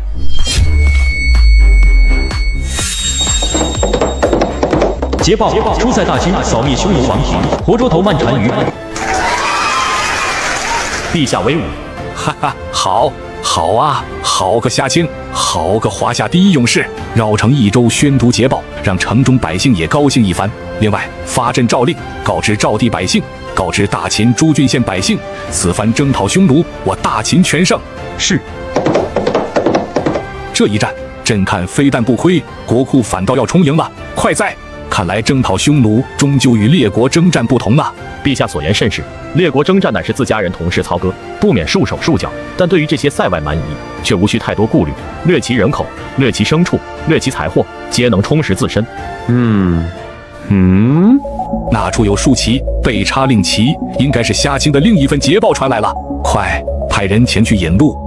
陛下在上，大将军呈报之军情在此。不错。真不错，夏清之军果然从不令朕失望。赵高，去取荀子三十二篇来。是，陛下，初塞大军既已全胜，想必帛书上军情应该不错，怎地还要用到荀子著作啊？帛书前半章讲述的是夏清如何攻破阴山王庭，拿下头曼单于，以及收获青壮七万余，马匹牛羊无以计数。便是我儿扶苏也在战场上斩获数十敌人。而后半章却附有阴符密信，说是还有件大事交代，需府以荀子书解密。朕恐又有变故。哦，会不会是虾相一路打的皆是快之又快的突袭战？将士们连日突袭，人困马乏已至极限，在最后对战时士气不佳，损失比较严重，不足以支撑陛下接下来的行程了。希望不是。陛下，您要的东西送来了。嬴政亲自翻阅竹简，对照帛书逐字解密，最后拿着誊抄好的解密军情，咂嘴为难道：夏清要在回师途中趁机剿灭月之与东湖。他以这音符密信传递军情，估计也是怕途中被截获，导致月之他们提前得知消息吧。虾相手中兵马不足三万之数，且连续征战，甲械霹雳弹得不到补充，将士也多半早生怠惰，如何剿灭两部？大将军这个决定会不会太急躁了？咱们真要现在剿灭月之与东湖吗？此番正是时机，咱们扫灭匈奴部族的时候，那些逃兵或者收到消息提前躲开的人，基本都是逃去两部。若此刻不剿灭，两部很快就会做大，成为大秦新的强敌，反倒更麻烦。尤其月支把持西域至关西之地，域外商旅想入关中，便要受其盘剥，甚至是劫掠。大秦若想沟通域外万国，则必先灭此辽。扶苏知道虾人有意放开商贾限制，但却不料他所谋如此深远广大。他呆滞片刻，才又回过神来。甲械损耗颇多，霹雳弹更是所剩无几，将士们也疲弊怠惰，如何击之？不需咱们动手，自有死士为之，坐享其成即可。哦，大将军可是想将军弓刺决之法用在比贝身上？然也。你想想，大秦因何而强？进而兼并六国，无他，为两点而已：一则耕战，二则军功赐爵。其中尤以军功赐爵最为厉害，一举打破贵族垄断晋升渠道的桎梏，哪怕是奴隶之身，也能转瞬变成旁人仰望的人上人。能用在华夏之地的良法，用在更崇尚勇猛掠夺的匈奴人身上，自是更加事半功倍。可是大将军，华夷之变，夷夏之防，自古已有之。深知人心，父皇和朝中重臣恐怕不会答应给比贝优待，更不用提军功赐爵。长公子可真是老实人，您已然说了华夷之变，一下之防，深植人心，那么欺诈比被蛮夷，便也算不得失德吧？啊！扶苏愕然，缓了好半晌，才哭笑不得道：“大将军真有武信军张仪之风范啊！”嘿嘿。大将军意欲征讨月之、东湖两部，尔等可愿金钱效力，斩获一颗首级，立刻赦免自身苦役之罚。若战死，也可赦免家眷苦役，再斩获一颗首级，则赐爵位一等，赏牛羊各五头，水草丰美的牧场百亩，另可续仆一人，家中子女也可送一位进大秦学馆。斩获越多，封赏越多，尔等可愿？匈奴俘虏中对秦军心怀怨念者自是闷头不语，但也有经受不住诱惑者，在同族的鄙夷目光中争前恐后的涌上前把看守将士围住。无怨无怨，莫及乃翁，吾也愿。俺必须去，俺最是善骑射。呸！卑劣之辈，不得善终。叛徒。一通排序下来，约莫有七八千人报名。看守将士统计好后，便领着这些人出城。十日后，这些人突然又重返城中，个个满脸油光，兴高采烈地寻找他们的家眷。什么情况？秦军真给你们赏赐了？嗯，我此番跟随秦军出征，斩了三个侵占牧场的月之孽种，一个用来赦免我家的苦役，另外两个全是赏赐。现在我家有牛羊二十头，上好牧场二百亩，而且我现在有两级爵位在身。你应该匍匐在地上跟我说话，喊我贵人。啊！嘿，得势变猖狂的家伙！我若对阵月之孽种，斩获必多你十倍。这般的一幕幕发生在城中各处，待入城的叛徒全部领着家眷离开，城中剩余人已然人心浮动。有人偷偷找上看守将士，表示愿意效力于军前，但看守将士却只说做不得主，需要禀告给大将军。如此又酝酿了一夜。次日，虾人让人传话：愿随军效力者出城接受整编。不愿。一人逃走，百人队接斩；百人队逃走，千人队接斩。家眷苦役致死，此为连坐之法。但有斩获，全家苦役立社；再有斩获，便有牛羊牧场赏下，更有爵位尊荣，成为贱民仰望的贵人。纵是战死，家人也得赏赐继承。是要做连累家人的卑劣懦夫，还是要做牛羊成群的尊荣贵人？你们这些家伙自行权衡。大将军士气可用啊！有这些渴望军功的匈奴兵打头阵，剿灭月之东湖不费吹灰之力矣。哦，长公子可是起了惜用之心？或许吧。如此多虎狼猛士，用之极气，难免可惜。哼，彼辈蛮夷，为威而不怀德，抢掠我华夏时，也是这般如虎如狼。扶苏顿时心凉，想到当初与韩信相遇的上郡小镇上那些悲惨的百姓，怜惜感慨霎时消散。戮我大秦子民者，百死不能赎其罪也。嗯。诸位，本侯意欲分兵，东路军以屠睢为主将，任嚣为副将，韩信为司马，领一万七千轻骑锐士，两万匈奴骑兵，三万匈奴部族，袭击东湖。诺。西路军由本侯与长公子统领，张苍为司马，领五千轻骑，亲卫五千重骑，以及剩余匈奴兵马，袭击越氏。诺。随后，大军便驱使匈奴兵为前锋行进。至于头曼城以及周边水草丰美的牧场，则作为榜样，安置给匈奴军大小将官的家眷们，给匈奴军一个盼头。如此，匈奴军士气更加高昂，所过之处不足皆灭。东路军一直打到燕地边境，西路军则一路打到关西，与专程赶来的嬴政碰了面。嬴政原来的打算便是西巡来着，此番正好顺道。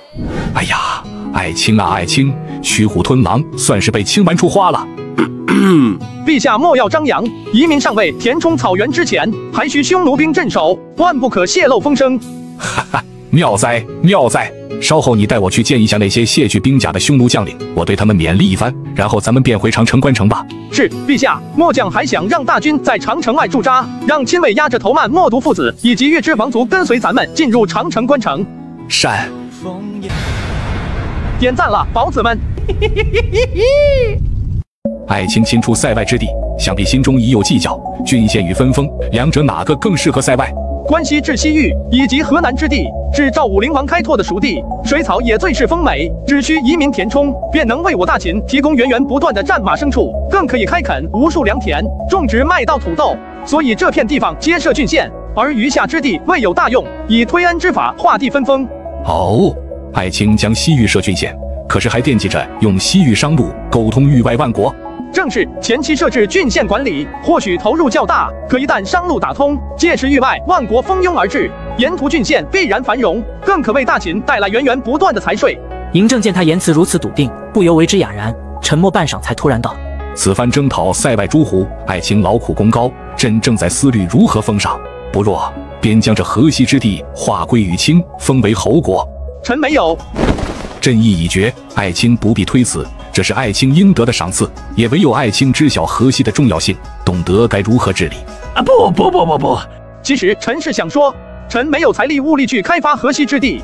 嗯，哎呀，爱卿又谦虚了。卿没有奇思妙想，皆能敛财无数，朕是知晓的，怎会没有财力物力？嘿，我是敛财无数，但聚敛的钱财都花在哪里了？你难道不知？而且话又说回来，就算我累死累活把河西之地开发好，届时推恩令下，还不是要被朝廷摘了果实？哎，等等，果实！虾人骤然睁大双眼看向嬴政，而嬴政则似笑非笑。君臣二人对视半晌，虾人越来越无语，嬴政则笑意越来越浓。臣这是作茧自缚啊！也罢，钱财用在哪里都是用，臣便接了河西这摊子。嗯，一套流程走完，虾人告辞离开。嬴政则是突然忍俊不禁的大笑出声，这笑声很独特，很没形象。赵高见怪不怪，眼观鼻，鼻观心，但扶苏就凌乱了。看着发出大妈笑的嬴政，心中貌似有什么东西崩坏。待嬴政停下笑声，赵高立即送上温水。嬴政刚喝一口，就瞥见了呆滞的扶苏。陛下最近口气有些大啊，该让医官配伍些药师服用了。你怎在此？啊！父皇迎接虾象时，儿臣便跟在虾象身边了。得，父皇这是又把我忽略了，还好我已经习惯不被他重视了。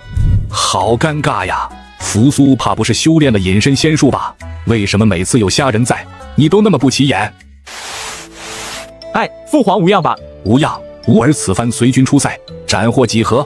虾乡爱护儿臣，甚少让儿臣亲临战阵，因而仅斩获首级十余。嗯，黑了，瘦了，但也愈发有勇武之姿了。带回关中，朕便加封你为太子，加封你母为皇后。儿臣，儿臣。他话到嘴边，却已哽咽不能言。自古王公之子皆称公子，为太子为储君。嬴政自登临王位以来，不立王后，更不立太子。扶苏没少被朝中群臣非议，甚至不少人以明里暗里站队其他公子。便如赵高，都是看中了公子胡亥，担任胡亥的老师。如今嬴政欲加封他为太子，他心中多年的委屈，算是一招释放了。稍后，扶苏眼含热泪从殿内出来，便看见虾人等在远处。虾相，请受扶苏一拜。哎，长公子何故如此？臣受不起。父皇欲加封我为太子，加封我母为皇后，乃是沾了虾相此番率军大胜的功劳啊！哦，即为太子，臣更受不起了。除非长公子想害我。行吧，可如此大恩，我该如何感谢虾相啊？虾人坏笑一声，他在这里等扶苏就是有事。听他如此说，便不客气道：“赠臣一些财货如何？多多益善的那种。臣一想到要开发河西之地，便愁啊。没问题，财货小事，带回关中便赠虾相万钱。嗯，那便五万钱。啊，这还不够啊。那个群臣以往不爱我，我也甚少有进项，全部加底算下来，怕也只有十万钱啊。多谢长公子慷慨解囊。十万钱赠给虾人，我怕是只能每日在母亲处蹭饭了。可说出去的话又不好收回，好难受啊。赵高将军，且慢行，咱有事跟你商量。见过虾相。哎，你我同殿为臣，私下里何必如此客气？赵大人文武双全，我向来是敬佩的。若不嫌弃，我便唤你一声赵兄，如何？啊！我跟他交际不多，纯属同事关系，他为何突然这么热情？这怎使得？高又怎敢嫌弃？哎呀，赵兄，嗯，赵兄，哎，弟穷啊！啊，弟要开发河西，穷啊！赵高愣愣眨巴眼，似乎在重启宕机的大脑，半晌才反应过来。陛下之前想空手套白狼，让虾人开发河西之地，而这虾人的空手套白狼玩的比陛下还溜啊！陛下起码还顾忌脸面，而这位大秦宰相是真能拉下脸，兄都叫了，我好意思给少了吗？需要多少？赵兄向来受陛下宠信，平日得赏赐颇多，便助地十五万钱吧。啊？多少？我家中也没余粮了。长公子拮据，尚且铸了十万钱，赵大人可是看不起本相啊？你有病吧？把平均线拉这么高，让别人怎么活？怪我干什么？他都张口要了，你敢不给吗？我，唉，我确实不敢不给。虾人此番举动，最后得益者是陛下，陛下知道了也只会拍手叫好。我敢不给，名字会立马出现在陛下的小本本上。虾人这位宰相，更是想啥时候整我就啥时候整我啊！那便十五万钱。赵兄大计，带回了关中，定然请赵兄到府中饮酒。嘿嘿。次日。虾人跟随嬴政前往西县，用头曼默读父子以及月之王族祭历代秦功，并发下诏书传至大秦诸郡县乡里。塞外诸胡已被尽数剿灭，从此刻开始，西北两个方向的漫长边境线再无蛮夷入寇之忧患。百姓若自愿移民塞外者，立给牛羊各十头，封每牧场二百亩，免赋税徭役三年。另外还可得到一匹马，抽签决定公母。征发大秦各地罪囚，移民塞外赦免其罪，同样分发牛羊马匹牧场。只不免赋税徭役，见及奴仆若愿，立刻给予粮解，家主不得阻拦，只可向官府报备，换取同等数量、同等性别、同等年岁的蛮夷奴隶。我终于有翻身的机会了，哈哈哈！我要去塞外，边境没有忧患，咱们这些商队也可以往更西走了，免得好处皆被西方异族商队占了去。扫灭西北一族是幽王以上的历代周天子皆渴望做到的功业。这位秦王的对外武功已然超越华夏有史以来的王公诸侯，皇帝之称实至名归矣。一纸诏令下去，百姓的赞叹此起彼伏。嬴政则是返回了关中。当他看到前来迎驾的文武百官居然又穿着补丁落补丁的破旧官袍时，立马恼怒。前次为出征大军募捐时，你们便是如此装扮，想装穷不捐善款。现在又来这一出，尔等又想作甚？这就要问虾相了。嗯？哦哦，赵高，朕累了，速速回城。我让虾人开发河西之地。虾人转过头，便朝扶苏和赵高要钱。这事我是知道的。王婉和群臣如此模样，多半是提前得到了风声，怕被虾人找上门去。另外，也有向我卖惨的意思，想让我拦一拦虾人。但我可是河西开发的最终受益者，脑子坏掉了才会阻拦。我不鼓励虾人，已然是爱惜颜面了。嘿嘿，诸位同僚，好久不见。我那个吴家中还有事，虾相明日朝堂再见。下官近日偶感风寒，就先告辞了。末将坐骑要产仔，得赶紧回去看症，告辞。下官的夫人有孕在身，隔一会见不到下官就会哭，先告辞了。文武百官根本不给下人说话的机会，七嘴八舌找了借口便瞬间跑了。长公子，你。稍后便将价值十万钱的财货送到虾相府上。扶苏先告辞了。我是真被榨干了，别找我啊，别找我！跑得真快，还想请你去家里庆祝来着，不去算了。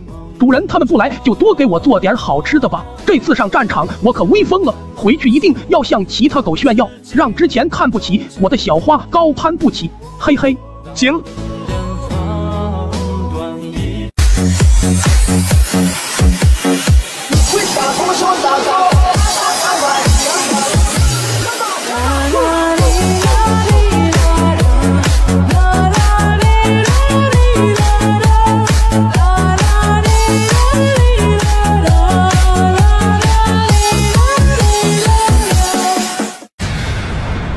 点赞了，宝子们！此番征讨塞外诸胡，镇国侯虾人当为首功，特赐河西之地为封国，以酬其功。臣谢陛下封赏。公子扶苏亲出塞外，刚毅勇武，深得朕心，加封太子，其母封后。陛下继承秦王位二十多个年头，儿子也有二十多个。起初大家都觉得扶苏这位长公子是太子之位的不二人选。可这么多年一直未得到加封，我早就把精力放到其他受宠的公子身上了，却没想到陛下直接来了个措手不及。谁不是呢？我全部身家都压在了公子高身上。可扶苏半路跳出来，跟着大军去塞外走了一趟，回来便加封太子。我之前的投资直接化为泡影了。哎，你们现在说这些都没用了，眼下最重要的是我们以后怎么过。扶苏成为太子，日后必定继承大统，到那时我们这官生还当不当得？哈 哈瞧瞧你们这吃瘪的样子，胆敢猜杜振之心思？呵呵，那便猜吧，有的你们猜呢。封赏已结束，边塞之地如今有大批移民没人管理，朕欲将诸公子分封在外，具体事项过几日再议。退朝吧！啊！群臣又悚然一惊，诸公子分封塞外，这代表他们最后的翻盘机会也没有了。便是赵高，都垮着一张苦瓜脸，魂不守舍地走出大殿。赵兄，赵兄，嗯，赵兄何处去？教授少公子胡亥学法。嚯，赵兄果然是文武双全之大才啊！呃，家相你也别拐弯抹角了，我知道你要说什么。我答应你那价值十五万钱的财货，稍后便送到府上。啊，还是赵兄大气！弟于府中设宴席，兄与诸位同僚便一起去吧，大家热闹热闹。嘿嘿，虾人这后半句话不止说给赵高，更是说给殿外所有官员听。魂不守舍的文武百官齐刷刷一个机灵。终于想起眼前还有个麻烦，扶苏封太子，我们大不了离开朝堂，跟着结交的公子去往塞外任职。可眼前这位宰相，分分钟便能撬走家里大半财货。塞外本就荒凉，若再没了财货，去塞外喝西北风吗？对呀，这分明就是鸿门宴，我得赶紧跑。瞎想，末将的坐骑难产了，得赶紧回去处理，先告辞了。下官风寒尚未痊愈，就先告辞了。下官夫人还等着臣回家吃饭，改日再去拜访虾将。百官像狼撵了似的，再次拿出昨日借口逃走，速度之快把扶苏都看傻了。家相家中韭菜是有毒怎的？一个个竟吓成这瓜怂样。这就是我要的这种效果啊！比被奸猾不易。若我不提前告诉他们虾人缺钱，急需大家帮助，那现在少不得虾人要拿我当样板，向群臣索要捐助。届时群臣不敢恨虾人，却是要误了我呢。而且群臣皆避而不及，才能显出我赵高的慷慨大气。嘿嘿，赵高念及至此，跌落的心气都恢复不少。笑着向虾人道：“家相，宴席设在何时？”哎，朱同僚不爱我，让人好不丧气，如何能饮得下酒？改日吧。如此，高便改日亲自登门拜访。家相，他们都太抠搜了，若不嫌弃，我还有些田产，贩卖可得。别别别，长公子慷慨，臣怎好一味苛求？先就这样吧。哎，人心不古，世风日下啊！扶苏太老实了，这么好一娃，我不能让他连吃饭的钱都没有。扶苏目送他走远，转头又回了大殿找嬴政，将殿外发生的事情讲给他听。原来虾青也有无可奈何的时候，哈哈哈！呃，父皇，虾象开发河西还是便宜咱们父子啊，如此幸灾乐祸，真的好吗？不如您从内库中拨些财货，赐予虾象开发河西。嘿，去去去，我弟内库可是历代先王记载下来的，怎可轻忽浪费？你瓜怂给讹走，竟想些没着落的，快滚快滚！扶苏这个老实人无奈的被赶了出来，而虾仁这边也回到了家，将刚才的事讲给正在摘菜的虞姬听。虞姬听完后看了看摘好的菜蔬，也是无奈道：既然无人来赴宴席。那这些菜谱先送去学馆给学子们加餐吧，省得吃不完腐烂。倒也不必，诸位同僚不来，还可以请别人来。你稍待片刻。嗯，你有中宫业者的官职，出入后宫方便，这些请柬便送去后宫，按图所记，送于公子公主。虞姬眨了眨美眸，已然明白他的什么主意。鸡贼笑道：“君子好坏呢？仆好生喜欢，那就速去。好嘞。”不得不说，虞姬头脑聪明，还越发有贤良小媳妇的模样，很难让人不爱啊！嘿嘿。秦王宫里收到请柬的公子公主皆是与有容焉，精心打扮起来，只求能在虾仁宴上不堕颜面。当然，这其中也有个例，就是正在跟赵高学法的少公子胡亥。少公子可知，虾相火封彻侯以来，便一向独善其身，从不与大臣公子结交，因而陛下也不猜忌他。这突然之间，虾相为何要邀请少公子宴饮呢？哦，不知。陛下赐了虾相河西之地为封国，虾相没有财力物力建立侯国。你若去赴宴，他多半要与你哭穷，你帮是不帮？啊，吃个饭我就得破财？不行，我不帮，我那点钱财还不够自己花用哩。那我便不去赴宴了。不不不，你若不去，便是不进国朝宰相。陛下知道，怕是也要恼了你。啊！胡亥一张小脸顿时皱成苦瓜，只得拍马屁求问道：“师傅最有智慧，可有两全之法？”嗯。你此去不穿华服，不带美饰，见美食便吃。瞎相见你拮据，多半也不好开口。便是开口哭穷，你也可随意给些财货糊弄过去。哦，还是师傅有智慧。傍晚时分，诸位盛装的公子公主结伴出宫，胡亥则是一身素衣，拎着二斤熏鹿肉当伴手礼跟在后面。臣虾仁见过诸位公子公主，虾相有礼。见过虾仁的公子一手回礼，但愚者公子公主却是第一次见到虾仁真人，不由惊得张大嘴巴。虾仁没有蓄须习惯，虽英武威严，但此时笑得和煦，显得像个邻家大哥哥。大秦彻侯，国朝宰相，攻城灭国的大将军，居然是眼前的和煦大哥哥，这也太吓人了吧！诸位弟弟妹妹都哑巴了吗？虾相当面怎可无礼？虾相有礼，无妨无妨。饮宴若是拘礼，那便无趣了。快快请进。哇！此物倒是奇思，用之比贵作舒适百倍。那是，臣这圈椅乃是华夏匠人的智慧结晶，极其符合人体力学设计，只需铺上软垫，便是沙发也多有不如。你们先坐着喝点奶茶，我去准备饭菜。真好喝，妹妹，这么大一杯，想必你也喝不完，浪费可是可耻行为。要不将你的分给我喝两口？哼，大兄，他抢我茶饮。小妮子，算你狠。来来来，刚出锅的臊子面，又香又过瘾。我这食材不多，只能做面了。诸位莫嫌寒酸。虾相亲手烹制美食，乃是天大盛情，又何来寒酸一说？吾等兄弟姊妹唯有多谢款待。嗨，家中拮据，说甚款待？不过是家常便饭而已。赶紧吃，凉了可就没滋味了。说着，他率先端起大海碗吃起来。见主人家已经开动，公子公主们也不再客气。众人吃完后，虾仁又端来一些卤鸡爪、油炸花生米等下酒菜，以及几坛果酿酒饮。有酒便有了话头，众人不再拘谨，纷纷向虾仁和扶苏询问塞外的情况。比备骑兵居多，来去如风。若非今次打他们一个措手不及，怕是十万瑞士过去，也只能胜之，不能灭之。而今匈奴、月之、东胡等大族虽灭，但塞外广袤，仍有不少漏网之鱼。诸位公子封国塞外，可要多多操练士卒，适时进行清剿，否则落个周幽王那般结局，便不美了。啊！虾相。这方面我们也不懂，您的封国也在塞外，能否帮我们操练士卒？您能打得塞外一族灭种？如果有您相助，那我们封国当可保无忧矣。非是不愿帮，实在是推恩分封之策，对封国有诸多限制。封国君主互相串联，乃是大忌。啊，这 朱公子的眼神瞬间黯淡，他们说不得哪天便要被封去塞外，一个人孤苦无依的待在外地，没有能人相助，没有亲人可用，还得时刻注意外族的动向，防止他们入侵。便是方才还觉甜美的果蝇，此时也只剩苦涩。虾仁看气氛烘托到位，便顺道开口：“不过此事也并非没有办法。”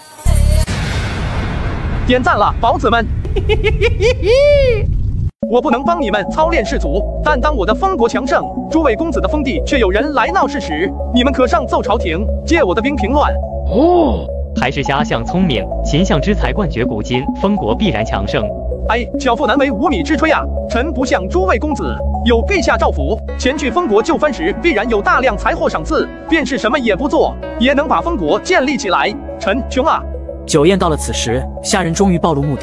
朱公子闻弦因之雅意，加之酒劲上头，立即道：“区区财货何足道哉？吾等捐助虾相一些，便有了。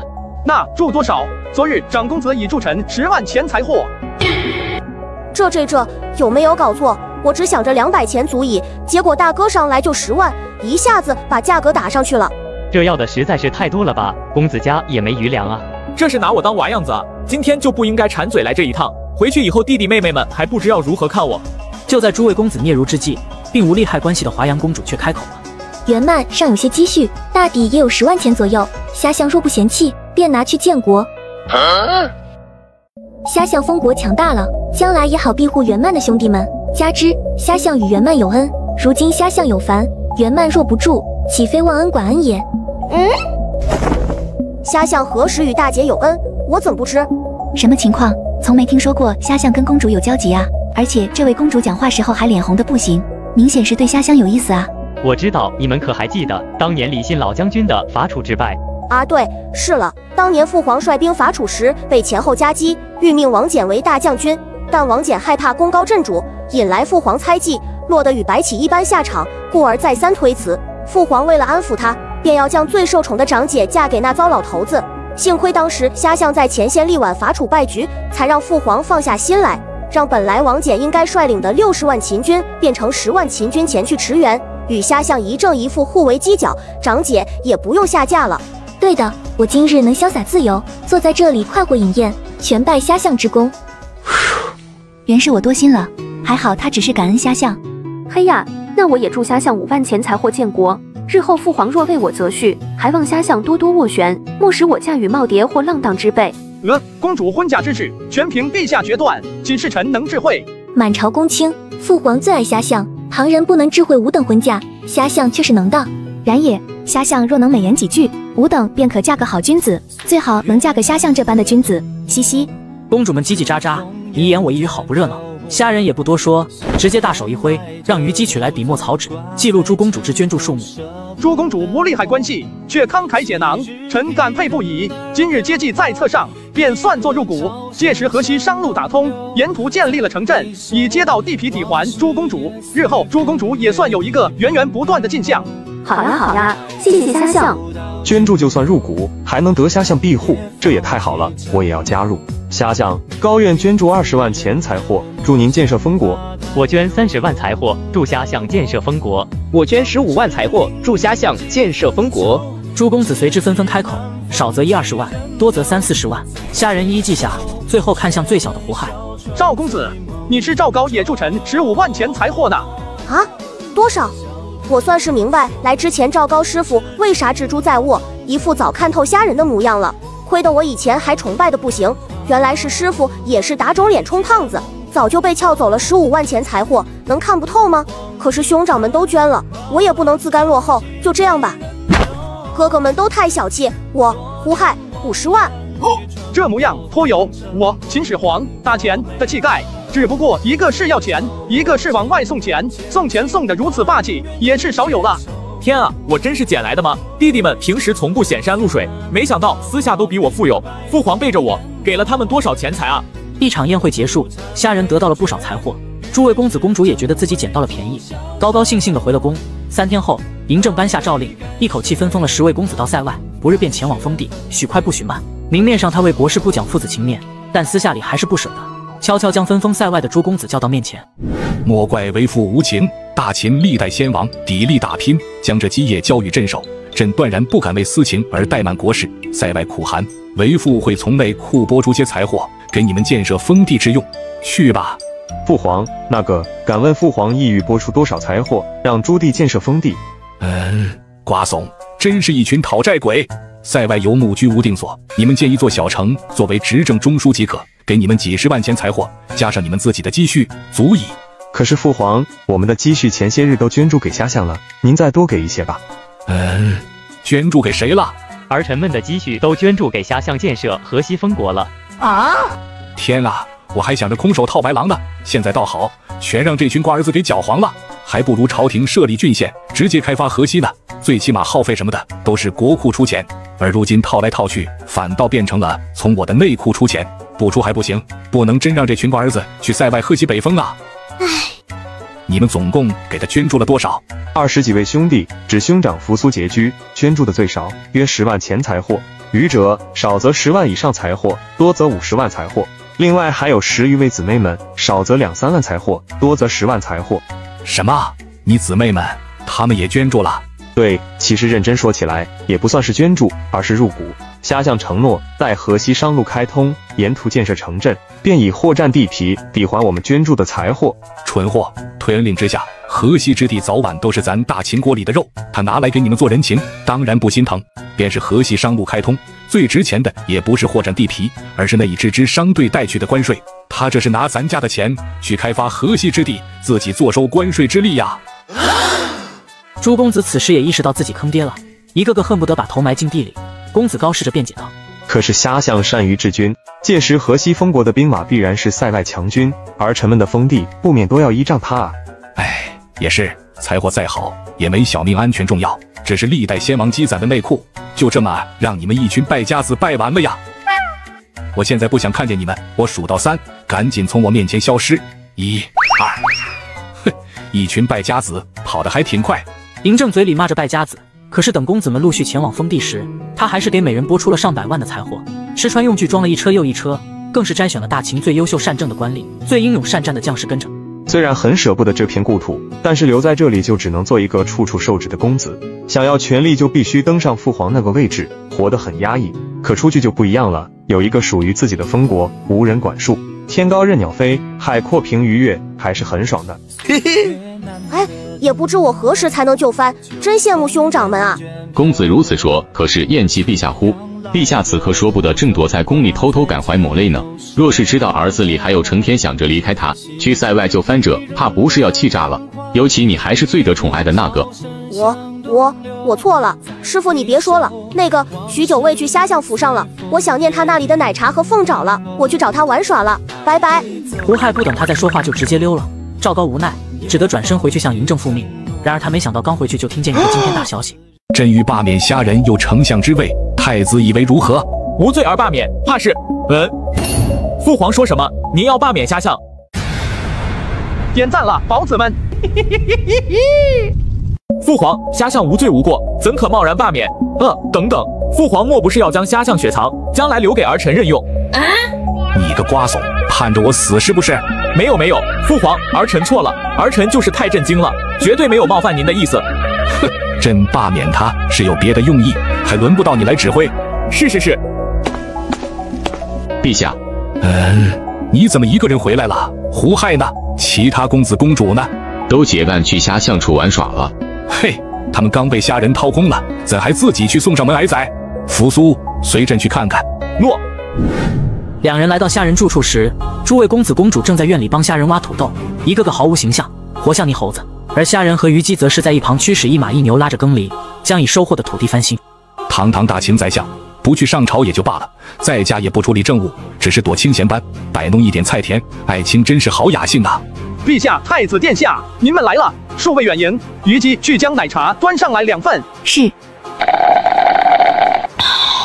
真是美味呀！爱卿这个朝廷重臣，生活过的神仙一般悠然自得。而朕这皇帝却每日不得闲，批阅如山竹简，朕好不羡慕啊！嬴政明里暗里的暗示着虾人的这番做派，说好听点是雅兴，难听点便是玩忽国事。虾人自是能理解的，莞尔笑道：“呵呵，陛下可看出我这牛马有何不同？”哦，那一牛一马身上皆带着烙印，乃是此番征讨塞外的缴获。爱卿是要表功吗？也是也不是，陛下可知塞外之牛马与塞内有何不同？塞外之牛马多用于食肉成骑，塞内之牛马多用于耕地拉车。咦？他说到这里，似乎若有所悟，突然便停下话头，惊奇地打量着一牛一马。牛马等大型牲畜都是经过驯养才能乘骑或耕地拉车，但是两者并不相通。用于骑乘的马匹突然用之拉车，少不得暴躁拉进沟里；反之，拉车马用于骑乘，也少不得暴躁把骑士甩下去。至于牛就更不用提了，若不从小驯养，根本不可能听话。而此番塞外缴获的这些烈马和草原牛到咱们手里不过十余天，竟能如此听话，艾青这是如何做到的呀？全赖此物之功。牛马上了这铁环，虽仍是暴躁，可牵扯之下却不得不俯首。嬴政仔细看了看牛马鼻尖的铁环，学虾人的样子扯了扯，牛马便吃痛，然后随之俯首。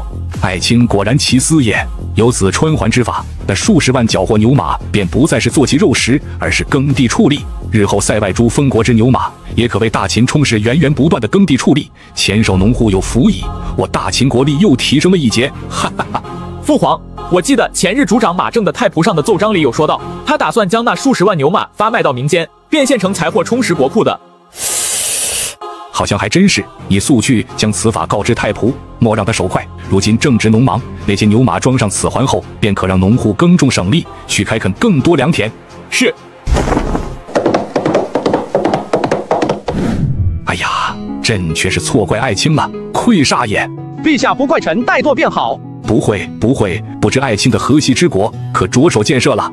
招募的官吏已然派过去，但臣还需向陛下借些别的。嗯，你前两日刚从我儿女们手里得到一笔巨财，现在又敲竹杠敲到我头上来了，不可能！爱卿啊，朕之公子将将就藩，朕之内库已然被他们掏空了，也穷啊！陛下，臣就只是借。爱卿，朕近日真拮据，口口声声喊着爱卿。到了动真格的时候，却抠门至此。你那历代先王积攒的内库，莫说是资助十个儿子就翻，便是同时资助三十多个子女就翻，也是九牛一毛。况且我说的世界有借便有还，至于这般避如蛇蝎吗？爱真的会消失的是吗？唉，若不然，朕为爱卿做主，将朝中诸卿请来，向他们借。晚秋，晚秋见凉，诸卿要多添几件衣物啊！朝廷的俸禄还是够你们穿上新衣服的，万不可学瞎相苛待自身。尤其李廷尉似乎气色不佳，当多食肉补身。有劳太子的关怀，我不是不想吃好的，我是真的穷啊！之前被迫捐赠巨额财货，若非在外为官的长子接济，我是真的要揭不开锅了。太子真是哪壶不开提哪壶啊！我们不敢多添衣物，不就是怕被瞎相惦记，又让我们捐财货吗？向诸位同僚借，日后也无不可。但眼下之事却是非陛下帮忙不能为。呃。既然话都说到这份上了，那爱卿不妨言之，朕能帮便帮。臣欲修建一条直道，自关中直达关西边塞，如此当可利于商贾往来，商路必然迅速繁盛。但这般漫长的直道，臣实在没有人手去修建，唯有借用奴隶苦役方可。这朕恐不能助清。那些异族奴隶属于国家资产，而非皇家资产。若用他们修建直道，修成之后的得利最大者，乃是清的河西之国。满朝公卿恐怕不会答应此等损公肥私之事。陛下想不想让内库多些进项？哦，此话怎讲？陛下春秋鼎盛，陵寝修建也不急于一时，可将数万陵寝苦役发去修直道，不出两三年，直到修成，便可坐收过路税。可关中至关西的道路四通八达，商旅逐利，断然不肯只为走一条直道而浪费钱财。这过路税该如何收取？若强行征收，税财接近了朕之内库，于国朝无力，怕是有大臣要死谏了。那若是直到修成，外面的这般模样，商旅愿不愿走？虾人指向院外的街道，此地毗邻秦王宫，街道皆以青石铺就。嬴政看着这条路，陷入了沉思。普通土路坑洼不平，遇上雨季更是泥泞不堪。商旅车辆在上面行走就是蜗牛般的速度，而若是直道修成这般模样，那不仅节省数倍时间，路途上减少的消耗更是数倍。想必商旅自是愿走的，便是偷偷的也要走上一段，减少成本消耗。可是这般直道，恐怕非数十年之功不能修成啊！臣有秘法，三年之内必然修成，这一点陛下大可放心。待修好之日，便可于长城设置关卡，不论出塞还是入塞的商旅，皆收取一份过路税，由此直道可走，想必也没有商贾会觉得吃亏。嗯，道理确实是这个道理，但三年修成一条漫长石路，还不能太窄，着实有些天方夜谭了。朕实在好奇，到底是何秘法？秘法便在旁边的大秦学馆中，陛下可愿前去一观？去，立刻去。谛听虾仁和嬴政要去学馆看新奇物时，边上的公子公主立刻来了兴致，做了半天免费劳力，他们早已过了新鲜劲儿，只剩累了，很想离开这里。可眼看君臣自顾自的往外走，没有叫上他们的意思。立马开始想办法吸引他们的注意。哎呦，啊！嗯，怎不当心一些？摔着没有？是大姐她。好，大姐拉你。袁蛮不等胡亥说完，便伸手将他扶起来。胡亥感受着手上传来的抓捏力道，那股来自血脉的压制，顿时让他神情一肃，乖巧无比。父皇，儿臣无恙呢。嗯，哦，原来是这样，吸引朕的注意啊！看你们这一个个期盼的眼神，也是想朕带着你们对吧？也好，既然你们有向学之心，那便一起去看看吧。夏青为我大秦创建的学馆确实与众不同。好。父皇，你们这是准备去哪？去大秦学馆。既然你回来了，那便一起吧。好嘞。点赞了，宝子们！看过学馆里的这些学子，再看朕这些长于深宫妇人之手的子女，感觉虽有名师博士教导他们，也终究不是甚好事。便如他这般，却是过于正直了。啊！明明是第一次被父皇夸正直，为什么我却感觉这么别扭呢？陛下，正直难道不是美德吗？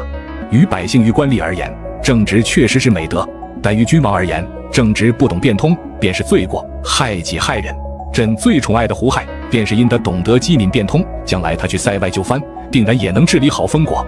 虾仁差点没直接翻白眼，但教育公子之事，他也不好智慧，便道：或许如此吧。哦，爱卿似乎不以为然，有话但讲无妨。那臣便斗胆一言：乱世之君与治世之君，打天下与治天下，两者天差地别。乱世之君自是要机敏变通，但如今大秦已定，需要的是安稳，与民休养生息。正直之君正可察奸除弊，最大限度安定民心。若是机敏变通，依臣看便好不见得，变得沉迷安稳享乐，倒是很有可能。嬴政看了一眼神情跳脱的胡亥，又看了看眼神沉凝的扶苏。虾仁所言确实是他内心想法，否则他不会加封扶苏为太子。但他又有点无奈，这个话题不知该如何谈论下去，便转移话题道：“爱卿。”可否让朕之公子来此就学？此地毗邻宫禁，倒也甚为方便。这学馆本就是以陛下名义开设，自然一切皆由陛下做主。不过若让公子们来此就学，臣还需整顿一番，以免出现差池。嗯，爱卿思虑周全，朕是放心的。就让他们三日后来就学吧。诺，拜谢父皇慈爱之心。出来玩一趟就能直接获得天天出宫的机会，真是意外收获呀！这也太好了吧！我也想出宫就学，姐姐。你能不能帮我去跟父皇说说？莫说你了，我也想天天出宫玩，可是父皇平日对我们管教严格，我也不敢开口啊。还是让我去试试吧。袁蛮悄悄来到虾仁身后，但不等他有所动作，虾仁便回头看他，眼神中满是戒备，仿佛在说：“你刚才踹胡亥，我可看见了。”袁蛮尴尬，只得送上楚楚可怜的哀求目光。其他公主见状也赶紧目露哀求。则他们这是想让我求情啊，但我不可能开这个口。嬴政早年经过他母亲与嫪毐一事后。最是反感女子不安稳，不过我倒是可以帮一把。呀，我把他们给忘了，这安排确实厚此薄彼了。爱卿啊，这如何是好？学馆设有医学院，旗下分设妇幼专科，学子皆为女流，也辅以教授法理数算，全凭陛下一言而决。哦，身为大秦的公主，将来注定要牺牲个人去成全家国大义，无论愿或不愿，如此。便让你们过个快活的前半生吧。夏青，朕之子女皆来此进学。诺，拜谢父皇慈爱之心。嗯，你们记住，来了学馆后不可仗着身份添乱，否则惹来夫子责罚，我断然不会干涉庇护。是，爱卿，咱们赶紧去你的秘宝所在之处吧。好的，陛下，您随我来。虾仁带着众人来到百宫院，找到一群正在铲沙和泥的学子。嬴政看到旁边正在上课的满身泥浆的白发老夫子，却是快步上前。原来是老少府，许久未见矣。见过陛下。这位老少府名叫乡里冕，是墨家相李氏之墨的巨子。大秦能平灭六国，相李氏之墨居功至伟。老少府不必多礼，您怎不在家中安享儿孙绕膝之乐，却在此行苦役之事？苦役？哦，陛下误会了，老臣在此是奉行墨家之礼，钻研百工之妙。顺便也为陛下培养一些善于百工的学子，将来也好充实少府。原来如此，老少府有心了。不过这泥沙中有甚百工之妙？这个嘛，陛下您仔细瞧瞧，这些石墩与别处的石墩有何不同？嬴政好奇地打量着不同寻常的石墩，胡亥也跟着从石墩旁捡起一块半干的凝结泥沙，捏在手里琢磨片刻，又伸手摸了摸那石墩，旋即惊讶道：“父皇，我知道了，这石墩不是用巨石凿刻成。”而是，而是用泥沙浇筑而成。嗯，还真是，老少府这研究的是神仙术，竟能聚沙成石。嘿嘿，倒也不是仙术，而是虾象近日钻研的秘法，交由百工院试制，谓之曰混凝土。正是以此土浇筑路面，一体成型，平滑如镜。且此土凝固后，拥有岩石所不具备的韧性，不易碎裂，可沿用数十年而不坏。怎么听上去有点玄乎呢？可有大铁锤，取来一柄，此处便有。嘿，哈！嬴政连砸数锤，直到石墩砸裂一块才停下来。我虽勤于政务，但每日也习武强身，力气很大的。普通石墩随便一锤就能破之，毕竟石料尖脆，最怕砸击。可眼前用混凝土浇筑的石墩，确实如虾青所言，具备岩石所不有的韧性。我使出了吃奶的劲，才砸裂一块。此土大有可为呀！何止是大有可为？此土用于筑城，则坚不可摧；用于兴修水利，则无溃堤之患。于国朝于百姓，皆有大利。嗯，不知此土造价几何？不值一钱，但需大量人力，故儿臣才向陛下借用奴隶苦役。行，爱卿要借用的奴隶苦役，朕稍后便调派。现在朕饿了，要吃饭。诺。众人又回到了虾仁的小院，虾仁先做了一锅炸薯条给诸人当零嘴。外皮酥软，内里软糯的炸薯条，便是乡里面也能吃得动。虾相有心了，往日去学馆路上经过虾巷这小院，时常能闻见美食香味，馋得老夫口水直流啊！今日沾了陛下的恩德，总算是得偿所愿了。晚辈为避嫌，才不与朝臣结交，而老少府已非在朝之臣，大可常来，美食美酒管饱。嬴政在旁边听到虾仁这番话，突然感到惭愧。爱卿向来洒脱恣意，为国事却是牺牲了本性。此前六国初定，爱卿不欲为朝官，只愿做一闲散彻侯。是朕再三以国事相托，轻才入朝为相。如今诸般国事已顺，也该给爱卿一个交代了。哦，陛下此言当真？嗯，待找个恰当时机，爱卿可卸下相印，挂个博士之职。那就提前谢过陛下了。扶苏看了看虾仁，又看了看嬴政，很是无语。先前父皇说要罢免虾仁的宰相之职，我还以为父皇要把虾仁雪藏，将来留给我任用。为此还挨了一顿打，现在看来果然是我想多了。三日后，骊山皇陵工地的所有人都被调去修建关西直道，满朝公卿很是莫名其妙。但那些人本就是专职服务于嬴政的，他们没法询问嬴政原因。直到李斯问了老实人扶苏，才知嬴政是在虾人的鼓动下修路，坐收商旅过路税。满朝公卿立马原地爆炸了。商旅走个路都要收税，陛下这是想钱想疯了吧？我必须去找陛下辩一辩道理。哎，冯公莫急，要见也得先问明情由啊。陛下欲收过路税，乃太子殿下亲口说的，能有假不成？是不假，但陛下修建之道，乃家相怂恿，要见也该去找家相，而非陛下啊。哦，有道理，那便去找家相问问，为何怂恿陛下行不义之事？诸公可有一起的？同去。群臣乌泱泱的奔着虾仁的小院而去，但当他们路过侯府学馆门口时，却看到了新奇一幕。华阳公主，你们为何突然背着书包来此学馆了？父皇恩准吾等兄弟姊妹来这学馆进学。啊！李斯愣了愣，思索片刻，然后转头便走。哎，李婷为何去？去求陛下给个恩典，让吾内犬子也来此进学。嚯，还是李廷未聪明啊！若能让家中子侄女与朱公子公主一道进学，好处不敢想啊！我也得赶紧回去。群臣反应过来后，都赶忙回去，全然忘了他们此行的目的。冯杰见此，气得跳脚。尔等承君王恩泽，十万民供奉，承上启下为君王牧民，国事与私利孰轻孰重？岂可为一己之私利而罔顾国事乎？呀，冯大夫说的对，吾等险些忘了正事。对对对，先找家乡问问，他因何怂恿陛下去行不义苛政？则虾相有难矣，胡亥，你速速回宫将此件事告知父皇。好。虾相真是好雅兴啊！哼，点赞了，宝子们。怎了？踹我们干啥？我没欠你们钱财吧？吾等劳心政务，头发一把一把往下掉，勤勤恳恳宛如老黄牛，每日不得清闲。可虾相身为百官之首，本应是最繁忙的一个，现在却躲在家里清闲，与美姬为乐，让人如何看待？哦，这就是你们不顾礼仪强闯，摆着死人脸给我看的理由。我的本职工作内容早已做完，现在是我的私人时间，陛下都管不到我这么宽，还轮得着你们来说道了？这群臣顿时像泄了气的皮球，齐刷刷缩脖子。他们本想站在道德的制高点指责一番虾仁，让他愧疚，再拿出他怂恿陛下修路收税的事压制他。结果虾仁不按套路出牌，硬生生让他们把到嘴边的话憋了回去。是下官失礼，望家相勿怪。真是不知所谓，好好说话，何至于此？说吧，你们此行来有什么事？下官听闻，虾相前些日怂恿陛下发十万苦役巧匠，欲修建一条关中至关西的直道，坐收商旅过路税入内库，然否？哦，冯大夫听谁说的？太子殿下。可是太子殿下亲口对你言说，非也，乃是太子殿下先于礼。群臣后面突然响起撕心裂肺的咳嗽声，冯杰顿时反应过来，差点被家人带跑偏了。卖了太子也就算了，虾人与太子有袍泽之情，不会去怪罪太子。可如果把李斯卖出来，那可就太生草了。还望虾相不要顾左右而言他。陛下修建直道，欲收商旅过路税用于充实内库，是否为虾相怂恿？正是。虾相荒谬啊！虾相手下也有瓷器、炒茶产业，应是理解商贾之艰辛。商贾纵然低买高卖，不是生产，违背我大秦耕战为本之国策，但说到底，他们也是我大秦子民，又怎能压榨至此？对呀，太荒谬了。若无商贾互通有无，百姓耕种所得的多余粮食，生产所得的多余麻布，又该如何处置？